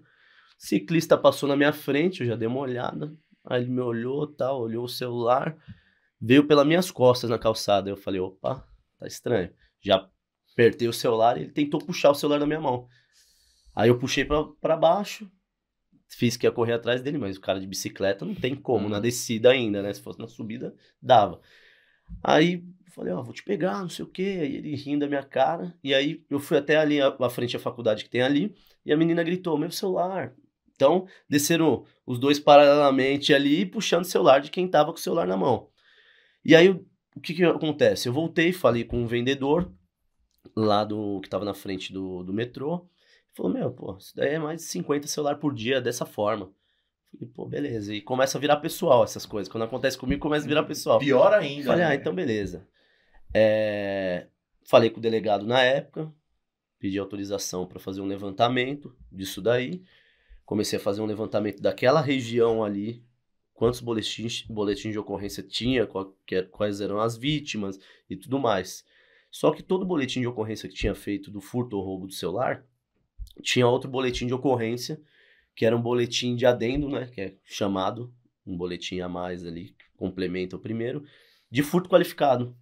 Com a vítima falando, acessei hoje, roubaram meu celular, acessei hoje e fizeram transferência, pediu de empréstimo, acessaram o aplicativo meu bancário. Uhum. E aí eu falei, caramba, mas a maioria tinha isso.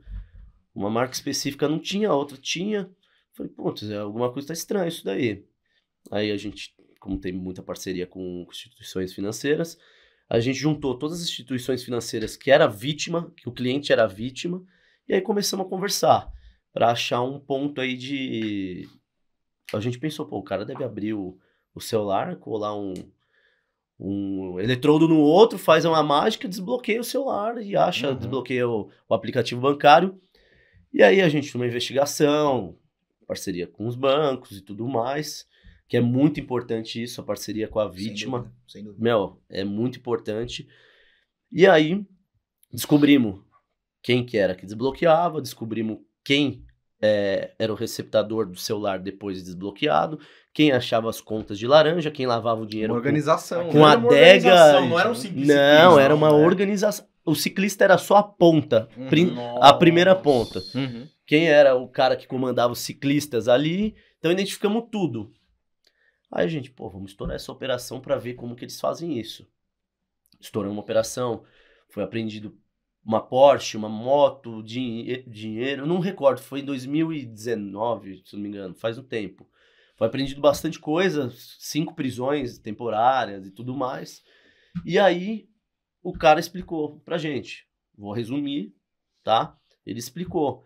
É, quando o celular pegava ele desbloqueado, ele ia na barra de pesquisar, que antes é, indexava todo o conteúdo do celular na barra de pesquisar, segundo ele. Então, se digitava senha de banco, achava no bloco de notas, ou no, no, no WhatsApp, ou Uhum. em outros aplicativos, a palavra senha de banco. Aí ele falou isso pra, pra mim, ele falou pra mim. De 50, 20 tinha o marido ou a esposa passando, amor, entra aí no meu, no Uhum. banco aí, a senha é tal, conta tal, ou foto do Isso cartão em mensagem, ou no bloco de notas, anotado ali. Eu tinha. Eu tinha, até esse dia eu tinha no bloco de notas anotado minha senha do banco. Cara, então se você tivesse sido roubado, ia, furtado ia, ali, você ia me também... lascar, ia me, ia me lascar. Olha aí, galera, fica de olho nessas coisas, É, pelo amor é. de Deus. E aí, é, ele falou, pô, eu falei, beleza, tá desbloqueado. E o bloqueado, como que você faz? Beleza, ele falou, ó, tem um problema, pega o chip, segundo fator de autenticação, põe o celular meu, põe o celular do mala, aí pede o segundo fator de autenticação para SMS, tal, tal, tal, recupera, muda a senha, e desbloqueia. Entendeu? Então, moral, não, Não, não, utilize- entendi, é meio é, que bom, complexo. que bom, que bom. Espero que também não entenda. Mas isso daí é o seguinte: o segundo fator de autenticação por SMS não tá tão seguro Hum. assim. Então, coloca, você pega o seu Vamos ser justos, vai, não é nada seguro. Não é, não é não é tão seguro. É melhor do que nada. É melhor do que Mas nada. assim, entendeu? É. Do que só login e senha. É melhor. Você tem um é melhor que SMS. só login e senha, realmente. É aquilo, se você for o alvo, meu amigo, você Ah, pode não ter cerca elétrica, cachorro, É, segurança. exatamente. é complicado barrar, mas eles vão no mais fácil, né? Vão no mais fácil. É. Então tá, colocava de forma mais prática o chip em outro celular, tem até reportagem disso, então pode ser falado. Uhum. Colocava o chip em outro celular desbloqueado, pedia o reset de senha de alguns é, provedores de aplicação, e ali, em, algum de- em algumas desses, em um só, mas em alguns desses, tem o que? O cofre de senha. E ali tinha a senha do, do, do e-mail que desbloqueava o celular, fazia recuperação. Ele fez isso na nossa frente. A gente pegou um celular e fez. E é uma velocidade absurda. Então, ele, ele tinha essa, essa tática aí de tirar o chip, colocar, desbloqueava o celular, depois puxava um backup. E, meu, no carnaval isso daí foi um arrebento. Tungava os celulares e, ó, ripando o cartão de crédito. E a gente entendeu, pô, não é uma falha do sistema operacional nem nada. É, uma, é um macete que os caras acharam uma É um lógica método um um método, falou, pô, e vai chegar até o objetivo que eles querem. E aí tem um outro também, ah, alguns aparelhos celular você consegue pôr lá a ficha médica. Aí você coloca a sua data de nascimento, a data de nascimento é a senha. Aí fica fácil pro cara, né? Sim. Então desbloqueavam assim também. Nessa tua operação, você cons- tem, um ter- tem aquele terceiro modo também de conseguir a senha, que é o phishing, né? Que isso acontece com muita quadrilha, que rouba o celular Sim, e começa sim, a mandar phishing. manda de aquela encontre página. seu celular. Ah, chama o seu aparelho. Não, essa daí eles não É. utilizavam, mas tem Não. muito, muito mesmo. Entendeu? É, tem vários métodos, né? Vários É. métodos. E geralmente quem manda o phishing não é a própria quadrilha, é uma, é uma pá especializada Sim. no phishing. Que Sim. vai mandar, depois começa a ameaça, ó, sei onde você mora, sei não sei o Uhum. quê, se não vai conseguindo pelo phishing. Tanto que a gente vai ter uma. Vai, vai estourar uma operação disso daí logo logo. Sim. Uma investigação disso daí. Opa. É. É. Cara, é. E aí vocês. Quantas pessoas vocês chegaram a prender mais ou menos nessa jailbreak? Foram cinco? Foram cinco na prisão Cinco. temporária. Tem, tem alvo que tá preso até hoje. Foi em 2019. 2019, tá preso até hoje. E pra um, meu amigo, pra um hacker ficar dentro de uma cadeia, sem computador, sem celular. Acho que é mais difícil do que o. Aliás, aconteceu um caso engraçado com, com um cara que você pegou, né? Não sei se você lembra. No- quando a gente publicou. No vídeo, né? É, É, eu tô aqui solto, É, né? Ele postou. quando a né? gente publicou Aí o saiu a pri- prisão dele. o primeiro episódio do Realidade Violada, a gente mostra um criminoso que vocês pegaram, né? E ele comentou no vídeo, depois que a gente publicou, tô aqui solto, e não, não, olha eu aqui, kkkk. comentou Aí ele vídeo. apagou, né? É. Falou, opa. Aí a gente falou, ô Serginho, olha isso daqui. Mas foi printado. É. É, a gente falou, olha isso aqui. Ele falou, putz, o cara tava de tornozeleira, ele tinha saído por causa da Hum. pandemia. E ele não podia estar usando Na internet. celu- no internet. celular. E ele- E ainda zombando, né? Pra quem fala que a gente não lê os comentários, a gente lê todos os comentários. É. Todos. E agora uma pergunta de leigo, assim, uma pessoa extremamente burra. Você falou que vocês pegaram Porsche, pegaram já Lamborghini, Maserati. O que acontece com esses carros? Porque pra polícia não fica, né? Ah, dependendo, do- é mais fácil o doutor falar disso daí, que tem mais propriedade Uhum. pra falar de apreensão. Aí, com relação a essas apreensões de veículos, né? Quando envolve veículos de luxo, assim, que tem um valor muito alto, o que, que a lei permite que a gente faça, né? Que a gente peça autorização para o juiz para ele fazer a alienação antecipada desses bens. Para evitar que ele fique deteriorando né, no pátio, perdendo valor. E quando faz a alienação, né, o juiz faz o leilão e o dinheiro fica na conta judicial para poder pagar o- os danos, né, para poder pagar para as vítimas Uhum. né, de- desse crime. Uhum. E é o que a gente costuma fazer. A gente pede sequestro de bens, arresto, para poder para poder mostrar para a vítima, né, ó, a gente conseguiu recuperar seu dinheiro. A gente Mas em alguns casos acontece, acho que eu vi, não tenho certeza, de que um, parece que um helicóptero de uma prisão ficou pra polícia, alguma coisa assim, de uma apreensão de algum lugar. é, Parece que isso, eu vi isso em algum lugar. Isso, que a lei de drogas permite que os veículos, Hum. né, possam ser passados para as polícias. É. Por isso que tem Camaro na Polícia Rodoviária Federal, É isso que eu falar. é, avião para a Polícia Tem- Civil. Nós temos helicópteros e aviões que, que a justiça passou para a Polícia Civil porque eles estavam envolvidos no transporte de drogas. E hoje, além de transportar nós, policiais, em operações, eles transportam órgãos para poder salvar as vidas das pessoas. Isso é muito bacana. Mas é só, só é revertido quando é relacionado à droga? Tem, Quando é relacionado tem à essa- droga, é. Com relação aos Com outros coisas, não. crimes, normalmente aliena e paga pra vítima. Leiloa e paga pra vítima. Mas é- Ah, faz sentido. Porque, pô, Mas eu penso também, será que seria interessante que a gente pare e lembra assim, ah, a polícia de Dubai só tem Lamborghini, não sei o quê. Será que, é, é, operacionalmente falando, é, É, bom vocês sentido, irem né? pra rua com uma Lamborghini? Eu É. gostaria de bater uma viatura dessa. Então, O resto da vida pra mas será que é confortável ficar com um fuzil numa É, Lamborghini? você nem entra, Ah, é transportar o preso né? na Lamborghini, não É, tem condição. Você vai pegar uma Lamborghini pra seguir uma Ferrari numa perseguição. né? É. Não adianta, É. tem que ser comparado ali, né? Porque ali você tem que acompanhar os veículos, né? PRF até com o Camaro. Sim. Pô, você pega um, um veículo de mais potência e tá com uma viatura menor potência, não vai conseguir acompanhar, né? Ah, sim. Eu já me envolvi numa perseguição lá na região da Zona Norte. É, eu tava na viatura descaracterizada, uma SPIN, e juntamente com a PM a gente começou a perseguir uma BMW X5. Nossa, como espinho. Em 10 segundos ela desapareceu, aí a rota tava, começou a acompanhar também, helicóptero, tudo. Desapareceu. Ah, Não tem como, não né? tem condições. E aliás, é, agora é um comentário nada a ver. Tá virando uma cultura isso no YouTube que eu tô vendo de pinote em polícia, né? Ah, sim. Que os caras ficam competindo. Tem os canais da tanto a polícia. polícia filma. É, a polícia filma caras, mostrando eles pegando os caras dando pinote. E tem também canal os dos caras dando do pinote. que De propósito, né? Tudo vira conteúdo, né? Essa é a verdade. Hoje em Sim. dia tudo é conteúdo. Tem bastante. Voltando pra esses casos. Não é? Já. Foda, ah, né, mano? Os caras tiram tira conteúdo do... qualquer lugar, cara. Se bobear o cara que tá fugindo e filmando, tá até monetizando. Monetizando lógico. esse vídeo, com certeza, tá ficando rico.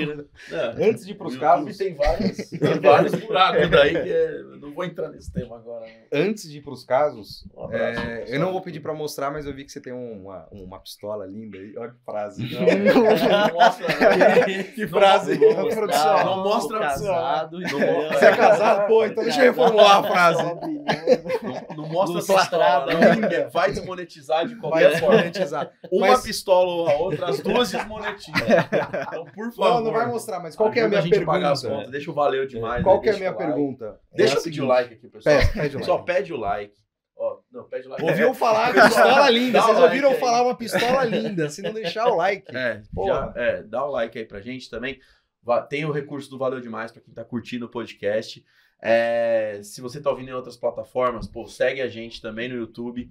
E mais do que isso, se inscreve no canal, porque é muito importante pra gente, pro crescimento do canal, pra continuidade desse quadro. E deixa também seu comentário aí pra, pra dar aquela força, beleza? É isso aí. E vocês sabiam que o Tecmundo tem um clube de benefícios chamado TecMe? pois é, quem não sabe, tem Olha, aí o link na descrição. Você pode ter cursos de especialização, cupons e várias outras coisas aí que, que vão ajudar vocês a, a se capacitarem ainda mais no mundo da tecnologia. Muito legal mesmo. Beleza? Link tá na descrição. Clube de benefícios TecMe. E voltando à pistola. É, qual, qual foi a minha- que é a minha pergunta? É, vocês recebem é, essas armas do governo, do- do- da própria polícia, elas entregam para vocês? Ou vocês adquirem as próprias? Como é que funciona mais ou menos? Todo cara que entra na polícia, ele recebe um armamento?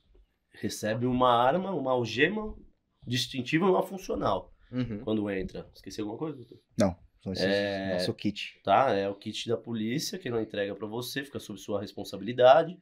E você pode também comprar a sua arma pela Polícia Federal. E aí você cadastrando ela, pedindo autorização para utilizar em serviço e o departamento específico da polícia autorizando, você pode utilizar ela em serviço. Como essa daqui, essa minha particular, mas Uhum. está autorizada para utilizar ela em serviço pela Polícia Hum. Civil. Tem algum limite de armamento que vocês podem comprar? Tipo, vocês não podem comprar qualquer arma, ou vocês podem comprar qualquer arma que é vendida em solo brasileiro. Putz, o limite agora eu não vou, não vou lembrar, mas tem uma portaria do, do Exército, Colog 32, não me recordo, que fala que tem ter um limite. Mas não saberia informar. Não saberia informar. Exa- exatamente, é. É, tá bom. ah, que agora. Uma história em off que a gente tava ouvindo aí. Já pra lá. É, deixa quieto, né, tal. Não, mas a Polícia Civil recentemente adquiriu uma grande quantidade de, de, um armamento, de armamentos, tanto pistolas quanto fuzis, muito bons, de última geração. E paulatinamente eles estão entregando para as unidades policiais. Dizem que semana que vem nós vamos receber umas pistolas é, mais modernas, né? Uhum. E vamos padronizar. A Polícia Civil vai padronizar o calibre 9mm que antes era calibre 40 que ainda a polícia militar, Uhum. mas agora vai, vai ser tudo 9mm. Qual que é a diferença? Ele é melhor? Ele é pior? Qual que é? Então, 9mm é um padrão utilizado pela Polícia Federal. Hum. Eu entendo que é melhor, até inclusive na hora do, da troca de tiros, né? Uhum. Porque ela não tem tanto tranco quanto a 40. Uhum. A 9mm você vai atirando, vai sempre indo no mesmo lugar. A 40 tem um tranco um pouco mais forte. Por uma ação policial é até melhor. Mas- Entendi. Vol- Voltando para os casos, então. Vamos voltar para os casos. A gente estava conversando em off sobre um caso que você citou alguma coisa de um desossado que você encontrou. O que, que foi esse, esse Uma, caso? uma ocorrência bizarra que ocorreu em, em São Mateus. São Mateus, agora o ano, eu não me recordo se foi 2014, Mas tem metrô lá 2015. agora. Tem metrô, é verdade. É, metrô. Passa na frente da delegacia lá. Tem, Você deve tem. lembrar o ano. Se ele não lembra, você deve lembrar. O quê? o ano do- O ano dessa nada. ocorrência aí. Que uma coisa bem bizarra, assim, que tinha. Descobriu-se um serial killer lá na Zona Leste que ele não gostava de usuário de drogas. Ele não gostava, não se sabe o motivo. Tipo, cada serial killer tem uma É. brisa. Né? Esse aí é, É, não gostava de é o de droga. antibrisa. Antibrisa. E, Coitado. e você não consegue conversar muito bem com uma pessoa dessa, né? Porque, eu juro, quando eu tava interrogando ele, parecia que eu tava falando com o Coringa do Batman. É mesmo. O cara dava risada, olhava pra baixo, dava um sorrisinho meio de lado. Tipo, não respeitava os policiais que estavam na sala. É um negócio de outro mundo, assim. Parece que a pessoa vive numa outra realidade. O que, que ele falava, assim? Tipo, ele dava uma risadinha, falava, não, matei mesmo, eu desossei. Aí do nada ele virava de lado assim, olhava pra delegada que tava comigo e falava, nossa, você é bem bonita, sabe? Do nada, assim, dava uns tilt na cabeça dele. Mas me lembrava a fisionomia do Coringa do Batman, sabe? Meio olhando de pra baixo, dando aquela risadinha meio macabra e tal. Nossa. Mas o que, que ele fazia? Ele não gostava de usuário de droga. Ele chamava os usuários de droga ali da, da região dele, da rua. Acho que era Rua Gêmeos, tem lá em Jardim Satélite do lado de Santa casa, Bárbara. do lado de casa da minha, da minha mãe. É. Será que não é você? Não, não, não. Eu sou de Gêmeos, mas eu não sou da rua Gêmeos. Na minha rua, eu não vou falar o nome da minha Ah, rua. não, sim, lógico sim. que não, mas é, é o nome de rua de planeta ali na Isso, região. Pô, isso, é na minha é na na- região na sua região. Tá chegando perto, Tá chegando Idade perto, é. Tá até de vermelho, tá vendo, né? Tá né? chegando perto. Sacar o gêmeo. Aí o que, que aconteceu? Ele não gostava, ele chamava os usuários de droga, ele contava. É, em determinado momento ele ia por trás do cara e degolava o cara. Pegava o cara, jogava pra um banheiro que ficava do lado de fora da casa, levantava assim e deixava o sangue escorrendo. O sangue escorrendo, escorrendo, escorrendo, o cara morrendo afogado lá. Aí o que, que ele fazia? Ele ia no quintal, pegava o corpo, cortava o corpo e tirava o osso da carne, ia desossando. Pra quê? Não entendi até hoje. Ele E ele cortava. guardava esses Então, ele ossos? cortava a região. É meio estranho. Ele, ele cortava a região genital das vítimas, Uhum. tipo, pra, não- pra- tipo, como se fosse um troféu, assim, sabe? Um negócio bizarro. Aí ele desossava tudo, separava o osso da carne. Aí ele cavava um buraco no quintal e jogava tudo e, e concretava. Agora, exatamente como que a polícia militar chegou até ele, eu não me recordo. Acho que a mãe dele achou estranho que o quintal tava todo cavocado. Aí o PM foi lá, mexeu, Tinha um sentiu, é, tinha- sentiu um cheiro de podre, aí foi dar ciência pro delegado de plantão, deu ciência, pediu perícia. Só que antes de pedir perícia, a gente pediu pros bombeiros ir lá, né, cavar. Aí os bombeiros era uma coisa mais bizarra. O bombeiro ia lá, pegava, tipo, as costas do cara, assim, a barriga do cara e colocava na, na lona. Aí tirava o osso. Aí teve uma hora que o bombeiro tirou a cabeça do cara, a cabeça inteira, colocou assim na lona. Você viu isso? Eu vi. E era um cheiro, assim, Cara, é um bagulho que É um você nunca vai esquecer. é um cheiro de açougue Eu, sujo. eu nunca acho que vi alguém morto. Não esquece, A cara. não ser num É, horrível. cemitério. Cemitério. Teve, Tipo, teve uma vez que eu acompanhei Já a é queda foda. de um avião aqui em São Paulo e eu fiquei ao lado dos corpos que foram resgatados. E eu não esqueço do cheiro até hoje. Não é. tem como, né? Te Aquele cheiro de marca. ferro, de sangue, meio carbonizado. Eu fiquei do lado dos corpos pra fazer a cobertura jornalística. Sim, né? sim. Então eu imagino vocês, com tantos casos que vocês acompanham, o tanto de cheiro que vocês devem Nossa. lembrar de coisas, de sensações. Nossa, o- É aquilo que a gente tava falando, é difícil não ficar frio depois de tanto tempo, né? Ah, não, É. sim, sim. Litoral. Esse tem caso muito- que você contou da menina, Ah, da cara. Nossa, é pesado. pô, E litoral tem muito suicídio, cara.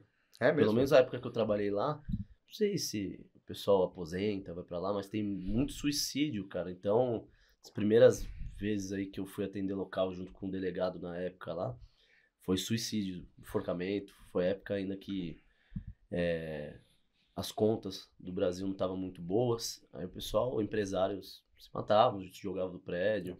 Pegou muito afogamento lá? Não, afogamento a gente não. É, vai pro plantão também, afogamento, né? Vai, morte suspeita. Morte suspeita, né? Ah. Mas eu não. Eu não, não trabalhei em nenhum caso de afogamento, não. Mas suicídio bastante. Como tem bastante rodovia, acidente de, de Hum. trânsito, caminhão em cima de moto, moto com carro, putz, é, é complicado. É um negócio pesado. Corpo no Rio Tietê, peguei bastante quando eu era plantonista do 13. Rio Tietê. No Rio Tietê. O pessoal matava o cara lá na Zona Leste, o corpo vinha boiando. Aí alguém passava lá, ligava pra polícia.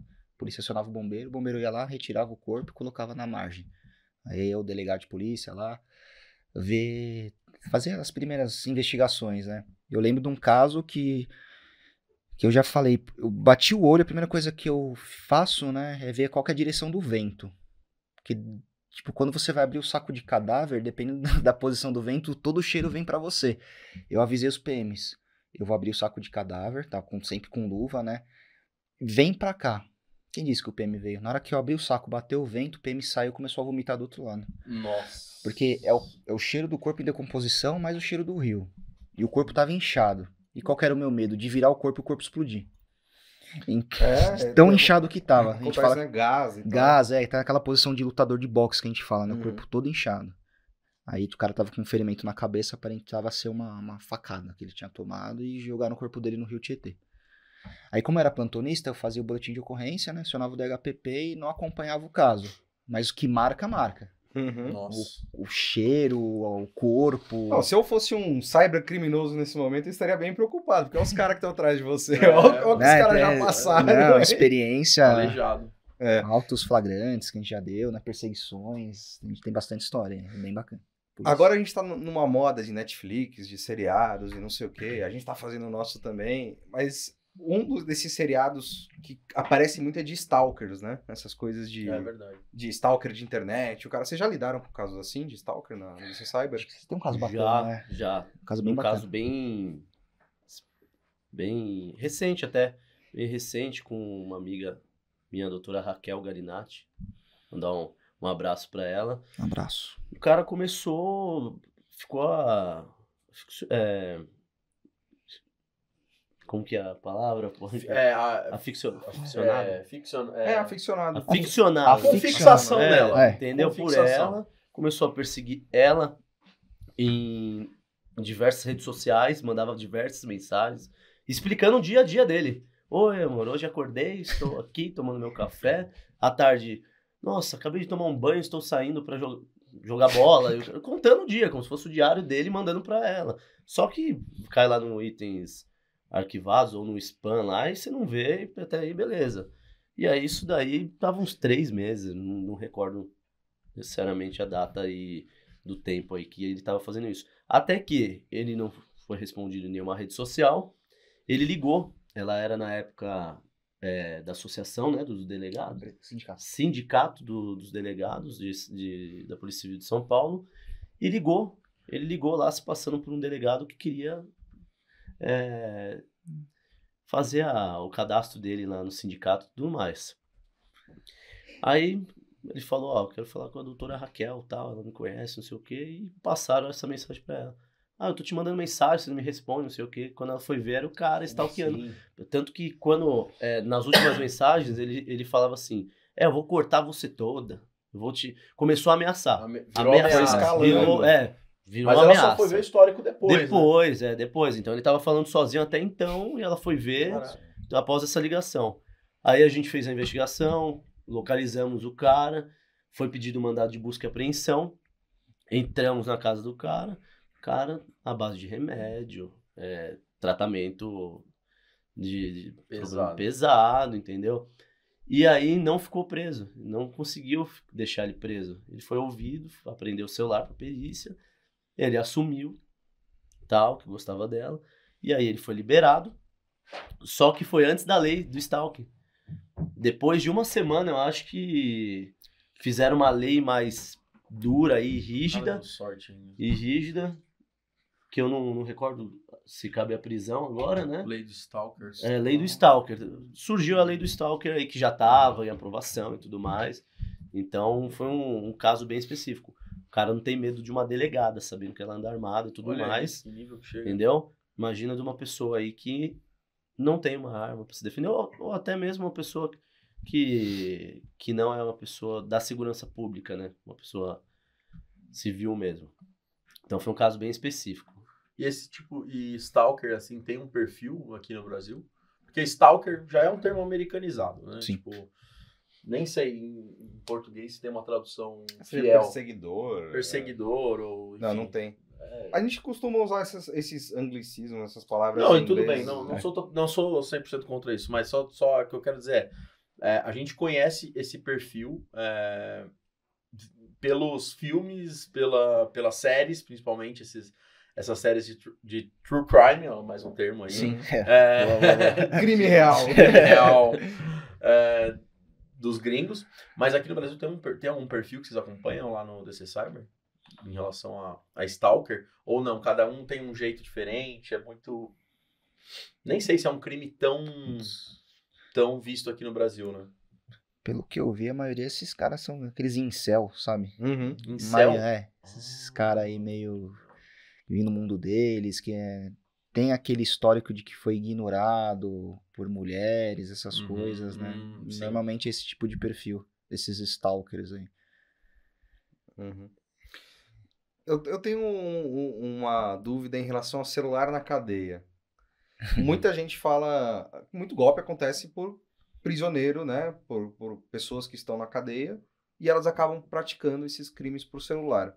Uhum. E aí todo mundo fala, ah, tem que tirar o celular da cadeia, não sei o quê. E tem, realmente tem que tirar. Mas por outro lado, será que não ajuda em alguma investigação ter um celular dentro da cadeia para vocês entenderem como que funciona? Pô, mas aí é os fins justificam os meios, né? Aí é foda. Não, eu tô, tô tentando Não, só entendi. uma... Você que tá tentando ver por um outro ângulo. Uma outra aí é- ótica. Aí eu tenho que discordar de você, mas. Não, tudo bem, você pode discordar. Acho que você pode. a- acho que a pergunta tem que ser mais se já al- algum celular dentro da cadeia já ajudou a desvendar Pode ser crime.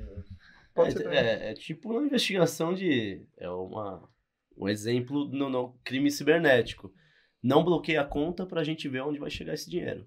É, entendeu? então, é exatamente tipo isso. isso. Então, às vezes, ajuda, né? Se tem uma interceptação Sim, telefônica, Sim. que eu acho que todos os presos falam Sim. por poucos celulares. Então, você vai escutar um monte de. Eu nunca fiz interceptação de cadeia, então. Eu Eu não também sei. não, de cadeia não. Mas deve ajudar também. Mas vale. é. É, te- vazou, teve uma matéria agora do Fantástico, né? Do. Do Marcola, se eu não me engano, que, que, que os caras vazaram várias, várias coisas. Mas aí acho que foi o. Não o celular dele. Não foi- era celular, foi, o- né? Foi o telefone da mulher, acho que foi interceptado. É, e eles a- interceptaram a câmera da troca de informações com Ah, o sim. advogado com o. Com, Com ele, né? Os respon- as pessoas lá do, do PCC que estavam lá na cadeia. Sim, E eles. Não sei nem como isso foi feito, mas é uma coisa. é, Foi muito curioso. Assim. sim. Antes da gente chegar nos nossos finalmente, eu queria falar um pouco sobre prevenção, cara. Estamos chegando no nosso momento. Tá da hora o papo. Tá ótimo o papo. Vocês estão gostando? Mas os caras precisam trabalhar, né? É, não, na verdade eles. Gente, Os caras acordaram três da manhã, né, porra? Uma salva de, de likes aí pros nossos convidados que estão aí. Agora eles chegaram é, aqui à tarde, né? No final da tarde. Esse programa está sendo gravado no final da tarde. Só que eles estão de pé desde as três da manhã aí em operação. Não dá para falar da operação que vocês estavam hoje, né? Ou já, já tá. Acho que já dá, já tá na mídia, né? A imprensa já deu. Ah, a é imprensa já- já tá- A todo mundo tá sabendo na já. imprensa, já caiu na mídia. É, foi uma operação Eles bacana. estavam numa operação hoje de manhã Conseguiram pegar? e vieram pra cá direto. Precisamos pegar dois. Era, um, era de um site que vendia ingressos para shows. A pessoa pagava, fazia o depósito e recebia o voucher. Uhum. Só que quando ela chegava no dia do show com esse voucher para poder entrar, descobria que era falso. Nossa. Então tem vítima no Brasil todo. Tem vítima no Brasil todo. E Pegaram hoje os caras. pegamos dois Que e bom, a investigação vai continuar. A gente vai pegar o maior Então, número de tem pessoas uma raiva de possíveis. cambista. Se você é cambista, tem uma raiva Cambista de você. Tem estelionatário. uma raiva de você, cara. Tipo assim, muita raiva. O cara vai no de estádio toda semana, né? Deve entender a, a raiva. Então, sobre prevenção, cara, se a gente pudesse pensar em algumas dicas, assim, pra quem tá assistindo a gente, prevenções entregues pela polícia pra você tomar cuidado no seu celular. A gente tava falando sobre o segundo fator de Isso. autenticação, né? É. O- uma prevenção para aquele caso que eu falei de retirar o chip e colocar em outro celular é colocar aquele, aquela senha PIN no chip telefônico que a gente sempre descarta. Tem que raspar assim atrás quando você destaca o chip. Tem a senha PIN e PUC. Você colocando essa senha PIN no seu chip telefônico, que é bem simples você, de você encontrar. É, é, eu acho que se você digitar senha PIN ou senha chip no celular, já vai mostrar. Tá? Então cada operadora tem o seu padrão. Se você não lembra mais, dá para procurar no, no Google e tudo mais. Colocando essa senha, a hora que o criminoso vai tirar e colocar no celular, vai pedir essa senha. Tá? Vai pedir essa senha. São quatro dígitos o primeiro. Errou três vezes, vai para PUC, que são seis ou oito, não recordo. Mas aí é a queda de papo, ele vai no mais fácil. Tá? Então você coloca essa senha, ele não vai conseguir ter acesso à sua linha telefônica. Tá? Outra, não anotar senhas em bloco de notas, não, não enviar foto de cartão de crédito ou cartão de débito para familiares, se for enviar, que às vezes precisa, apaga, apaga para todos, né? Que não adianta você apagar do seu lado e do outro lado ainda tem, tem essa foto aí, né? O que mais, doutor? Tem matéria aqui, do, quando você estava falando, estava pesquisando, tem matéria do Tecmundo sobre a senha PIN, é, de como você ativar e tal, e, e outras matérias sobre, sobre, sobre isso que o Sérgio falou. A gente também vai deixar o link aqui na descrição. Autenticação, né? De dois A fatores. autenticação. É, eu acho que, eu acho que a autenticação contigo. dos fatores, cara, é uma das coisas mais É. importantes que as Sim. pessoas precisam Então, aprender, estão né? E colocar em tudo, colocar no social, WhatsApp, colocar no e-mail, tudo. colocar em rede social. Isso. O segundo fator de autenticação é a barreira mais importante Ué, que você pode Porque fazer. às vezes você Com utiliza certeza. o seu e-mail, aquele você deixa um e-mail sem segundo fator de autenticação e é o e-mail de recuperação de senha de vários outros seu, Hum. seu e-mail, Uhum. outros e-mails. Aí é complicado. Ele consegue entrar a partir dessa, dessa brecha que você deixa. E aquele banco de, de, de senha de gerador de código do Google é funcional? Já viu? Que é, que é um que fica É, legal. É, é tipo de token. Ah, tá. É Hum, aleatório, né? aleatório. é o É aleatório. Authenticator. É. É, esse É, é, o ele legal. é um, um do- uma das as ferramentas né, dos aplicativos de Sim. segundo fator de autenticação. Para substituir vários, o né? SMS, né? Tem o. Microsoft Authenticator, o Google Authenticator, o Alt. O Alt é muito legal porque o Alt ele salva em nuvem. Então, se você trocar de aparelho, alguma coisa, você consegue recuperar de maneira mais fácil os Sim. seus, as suas A contas. gente podia né? fazer um vídeo disso, né? Uma assistência tech de, de authenticators. Podia aí, Leo- Ótimo, Leonardo né? Rocha. Alô, Se Leonardo vocês Rocha. quiserem uma assistência tech disso, comenta aí também. E residentes de São Paulo que tiverem qualquer problema, sofrerem algum crime relacionado a crime cibernético, como que eles devem agir? Eu sofri um golpe, roubaram dinheiro meu, invadiram minha conta. Como é que funciona esse processo? Primeira coisa, mantenha a calma, Uhum. entre em contato né, com o banco e com a sua operadora de celular para explicar a situação. Depois disso, você pode registrar o boletim de ocorrência pela nossa delegacia eletrônica. Entra no Google, coloca lá Delegacia Eletrônica Polícia Civil São Paulo, vai ser o primeiro link que vai aparecer. Que fica no centro de São Paulo, né? Não, dá para você fazer pela internet. Ah, É para evitar que você saia de casa, para você Uhum. fazer no conforto do celular, para evitar uhum. pegar fila, pegar ônibus para ir para delegacia. Você pode fazer tudo pela internet. A maioria hoje dos boletins você já. Praticamente tudo, exceto homicídio, estupro, crimes mais graves, o sequestro, né, uma situação de flagrante não dá para você fazer pela internet, né? Mas praticamente todos os crimes você consegue fazer. Por exemplo, estelionato. Você entra lá no, no site da delegacia eletrônica e vai na opção lá, outras ocorrências. Essas outras ocorrências é o geralzão. Não é o furto, não é o roubo, não é perda e extravio. As ocorrências que não cabem né, nesses que eu citei acima, você pode registrar por lá. Segunda opção, você pode se dirigir à delegacia mais próxima da sua residência, né, para poder registrar esses fatos, até porque toda delegacia é apta a investigar crimes cibernéticos.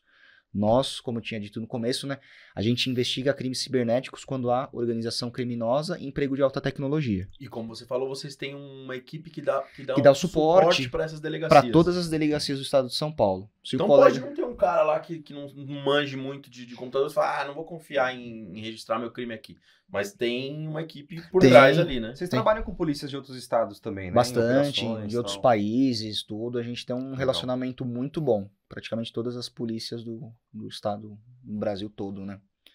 E a terceira opção, se quiser registrar lá com a gente, nós temos um plantão de segunda a sexta, das 9 às 19 horas.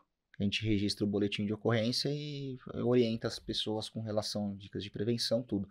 Lembrando que no site da Polícia Civil, no site da Polícia Civil mesmo, não no site da Delegacia Eletrônica, né? Tem um link lá que tem dicas de prevenção contra crimes cibernéticos. Excelente. Isso é muito para colocar na importante. descrição também. Vamos, vamos, vamos. Porém, por causa né, dessa época política, né, é, esse link está desabilitado por conta da lei eleitoral. Ué? Mas assim que acabar. O que, que tem a ver? Pois é, também Nossa, eu não também entendo, mas entendi. é. Mas quando voltar ao normal, vai- é o passo a passo para você evitar que caia em golpes cibernéticos. Vocês é investigam muito- fake news? Fake news ainda não estamos investigando, né? Mas se tiver organização criminosa, emprego de alta tecnologia, a gente vai Ih, começar a isso investigar. é papo para outro episódio, Ah, então vamos ver mais certeza. pra frente Ainda mais agora. né, nessa época de eleição, né? É. O que, que vai ter de crime cibernético? Amanhã a gente vai Verdade. conversar aqui com um cara que ele... novo? Vai, com certeza. Opa, Amanhã é um a gente vai conversar aqui com um cara que ele é pró em deepfake.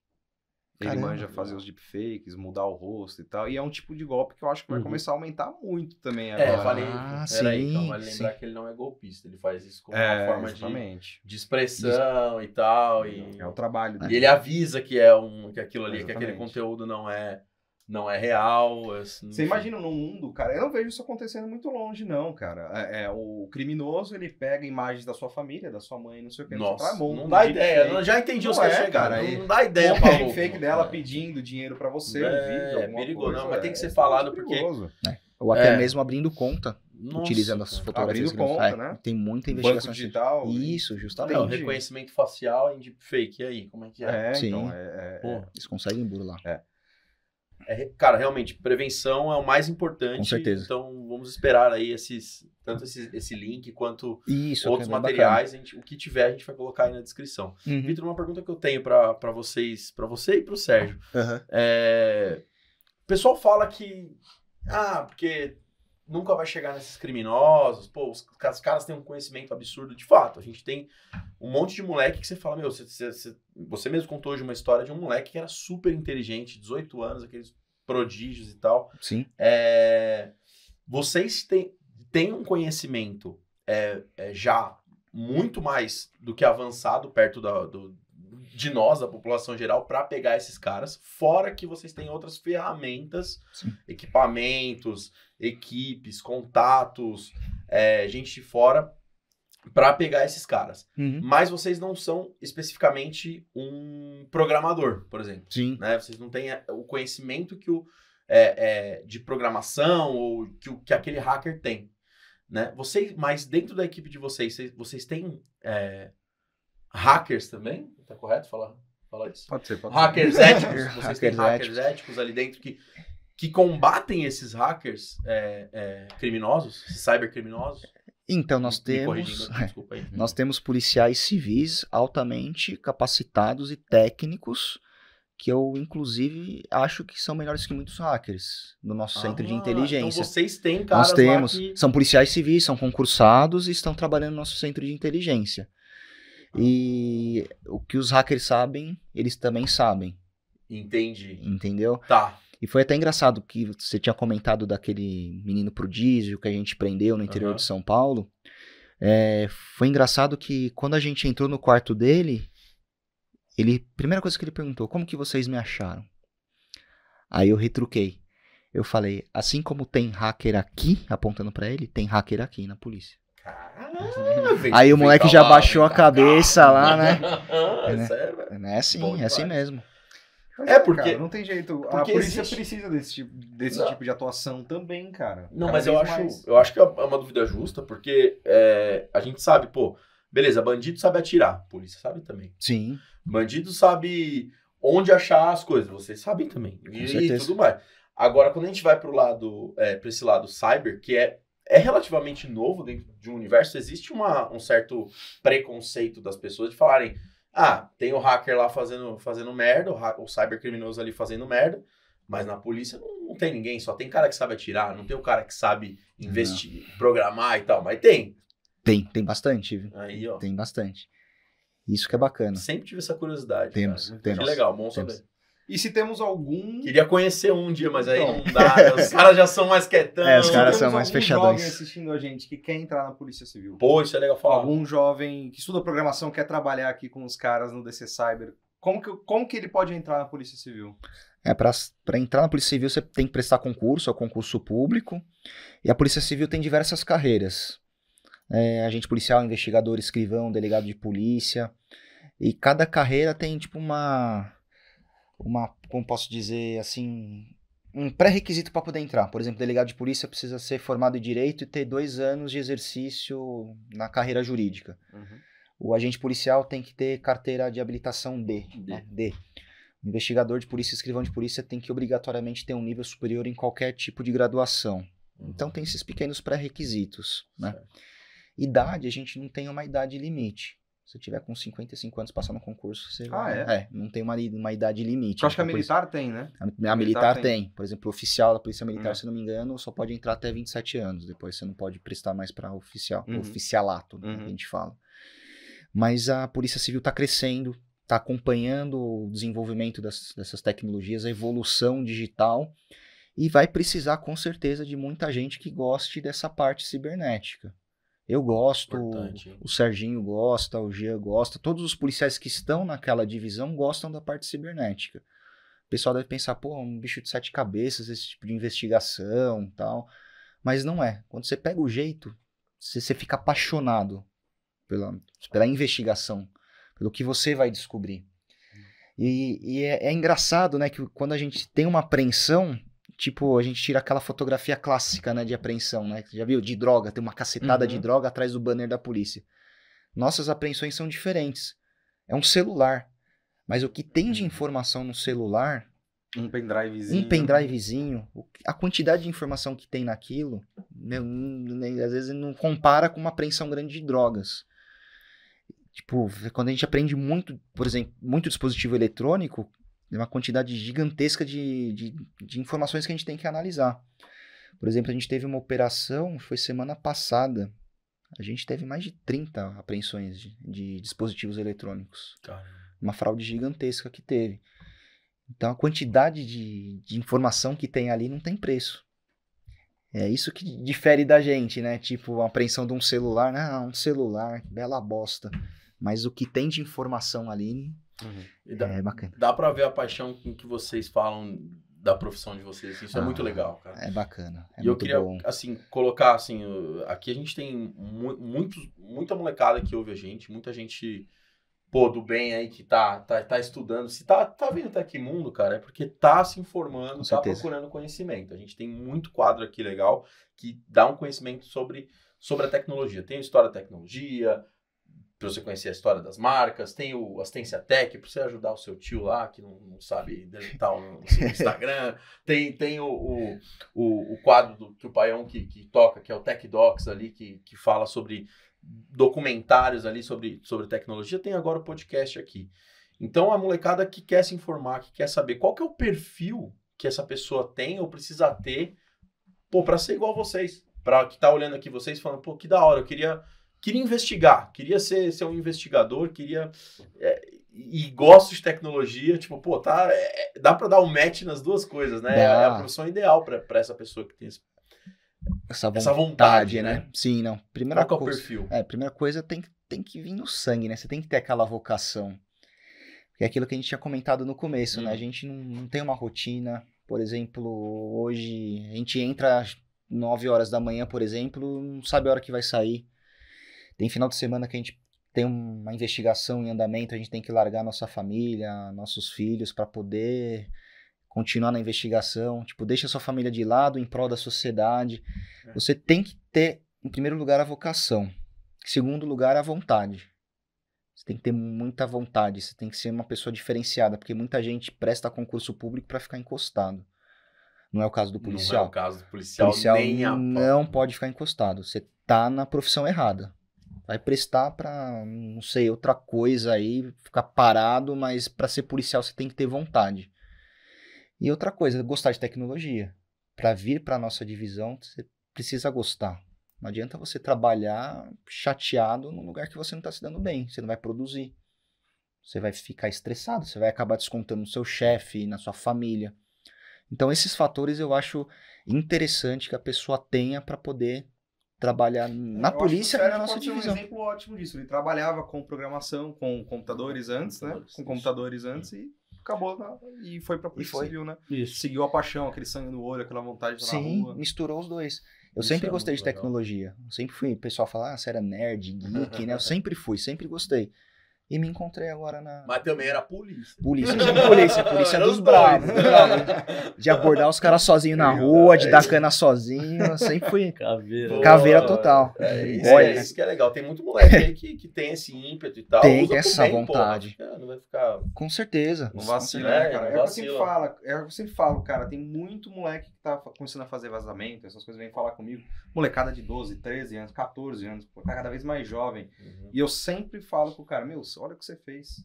Você é inteligente pra caramba, cara. Vai trabalhar com isso, vai estudar, vai não sei o que. Larga, para de fazer essas coisas, cara. Sai Você disso. tem, você, você tem como você escolher. soubesse o salário que esses caras ganham em empresa de cibersegurança, É, cara, é. pô, Se você tem o conhecimento, Você tem, você vai- tem vai como nisso, escolher, cara. entendeu? Então, acho isso importante falar. Você tem como escolher. É. Certo? Então, nesse caso, não é. Não estamos falando do moleque que. Puta, nunca teve nada, pô, só se ferrou a vida inteira, pô, foda-se a sociedade e tal. Não. Você tá pegando um cara que tem um conhecimento, sabe mexer no computador, sabe, entende da coisa. Sim, E aí você pega esse cara e vai pro outro lado, sabe? Pra um lado ruim da, da, da coisa. sim. Temos dois caras aqui que estão aqui que representam o lado bom da situação. Então acho importante vocês estarem aqui no Tecmundo falando disso. Acho isso É. bem legal. Ah, bacana, E pra quem- Obrigado por Obrigado. terem Não, vindo. a gente que agradece o convite e a Não, oportunidade de a gente uma poder alegria ter vocês passar um aqui, pouco da né? nossa E experiência obrigado de vida policial. novo, assessoria da Polícia Civil. Não, que é isso. É, quem, quem gostou de vocês dois, eu acho que o Sérgio vocês não vão encontrar nunca, hein? Mas de É. como É. Que, que, que o pessoal pode te encontrar? Ah, quero conhecer, ver mais o trabalho do, do doutor, quero ver mais o trabalho de vocês. Como que eles podem. É, atualmente a gente está lá no Palácio da Polícia, né, na rua Brigadeiro Tobias, número 527, no 16º andar. Nós somos da primeira delegacia de crimes cibernéticos, né? Que investiga crimes praticados contra instituições financeiras por meios Uhum. eletrônicos. Estou lá sempre de segunda a sexta. E com relação à rede social, eu tenho um Instagram que é o arroba Vitor Luna. Se Legal. puder conhecer um pouco lá. A gente está à disposição lá, né? Nosso dever é proteger, né? Sempre. As pessoas. É, E, meu, obrigado pelo convite. É muito importante é, esse tipo de conversa para expor nossa realidade, né? Para todo mundo ver que a gente está trabalhando, está combatendo É o crime cibernético. E se você sabe investigar crime cibernético, você inve- investiga homicídio, latrocínio, sequestro. Então é uma área que se você aprende, você faz qualquer coisa Olha na sua vida, né? Então você protege sua família ciberneticamente, protege seus amigos. E isso é muito bom. Prote- proteger os outros é a nossa satisfação. Tá? Então, estamos à disposição lá, no mesmo endereço que o doutor passou. Então, eu agradeço novamente vocês aí pelo convite aí. A gente Legal. agradece Perfeito, a presença, tá aqui perfeito. informando, é, é, é, não é por, por like, por, por Sim. qualquer coisa do tipo. Os caras estão aqui para informar, para auxiliar, pra, é uma extensão do trabalho deles de, pro- de proteger a sociedade. Tá aqui também informando vocês sobre essas situações. Também é, é muito importante, faz parte também de, de toda essa, essa missão aí dos caras, que é muito nobre e muito legal. Você já deu seu recado? Já, já dei meu recado. Sérgio já deu. Tô Quer ir com embora? sede. Quer, quer deixar algum recado, Vitor? Ou podemos encerrar? Não, só complementando né, o que o Serginho falou, vocês podem sempre contar com a Polícia Civil. Todo crime deixa um rastro. Não tem como não deixar um rastro. E a gente vai atrás. E a gente vai te pegar. Então toma cuidado. É isso aí, vocês ouviram o doutor Vitor. doutor, muito Encerra, obrigado. encerra, encerra. Vou encerrar. Depois dessa. Depois dessa, doutor Vitor, muito obrigado. Eu Sérgio, muito obrigado. Eu Pessoal, agradeço. se você gostou desse vídeo, deixa aquele like. Compartilha com o pai, com a avó, com a tia, com o tio, para todo mundo aprender as dicas de prevenção. E se você quiser ver al- alguém diferente, alguma outra coisa, comenta aí embaixo. Bom, a gente fica por aqui. Obrigado, Renanzão. A gente Valeu. se vê na próxima, pessoal. Um abração e tchau, tchau.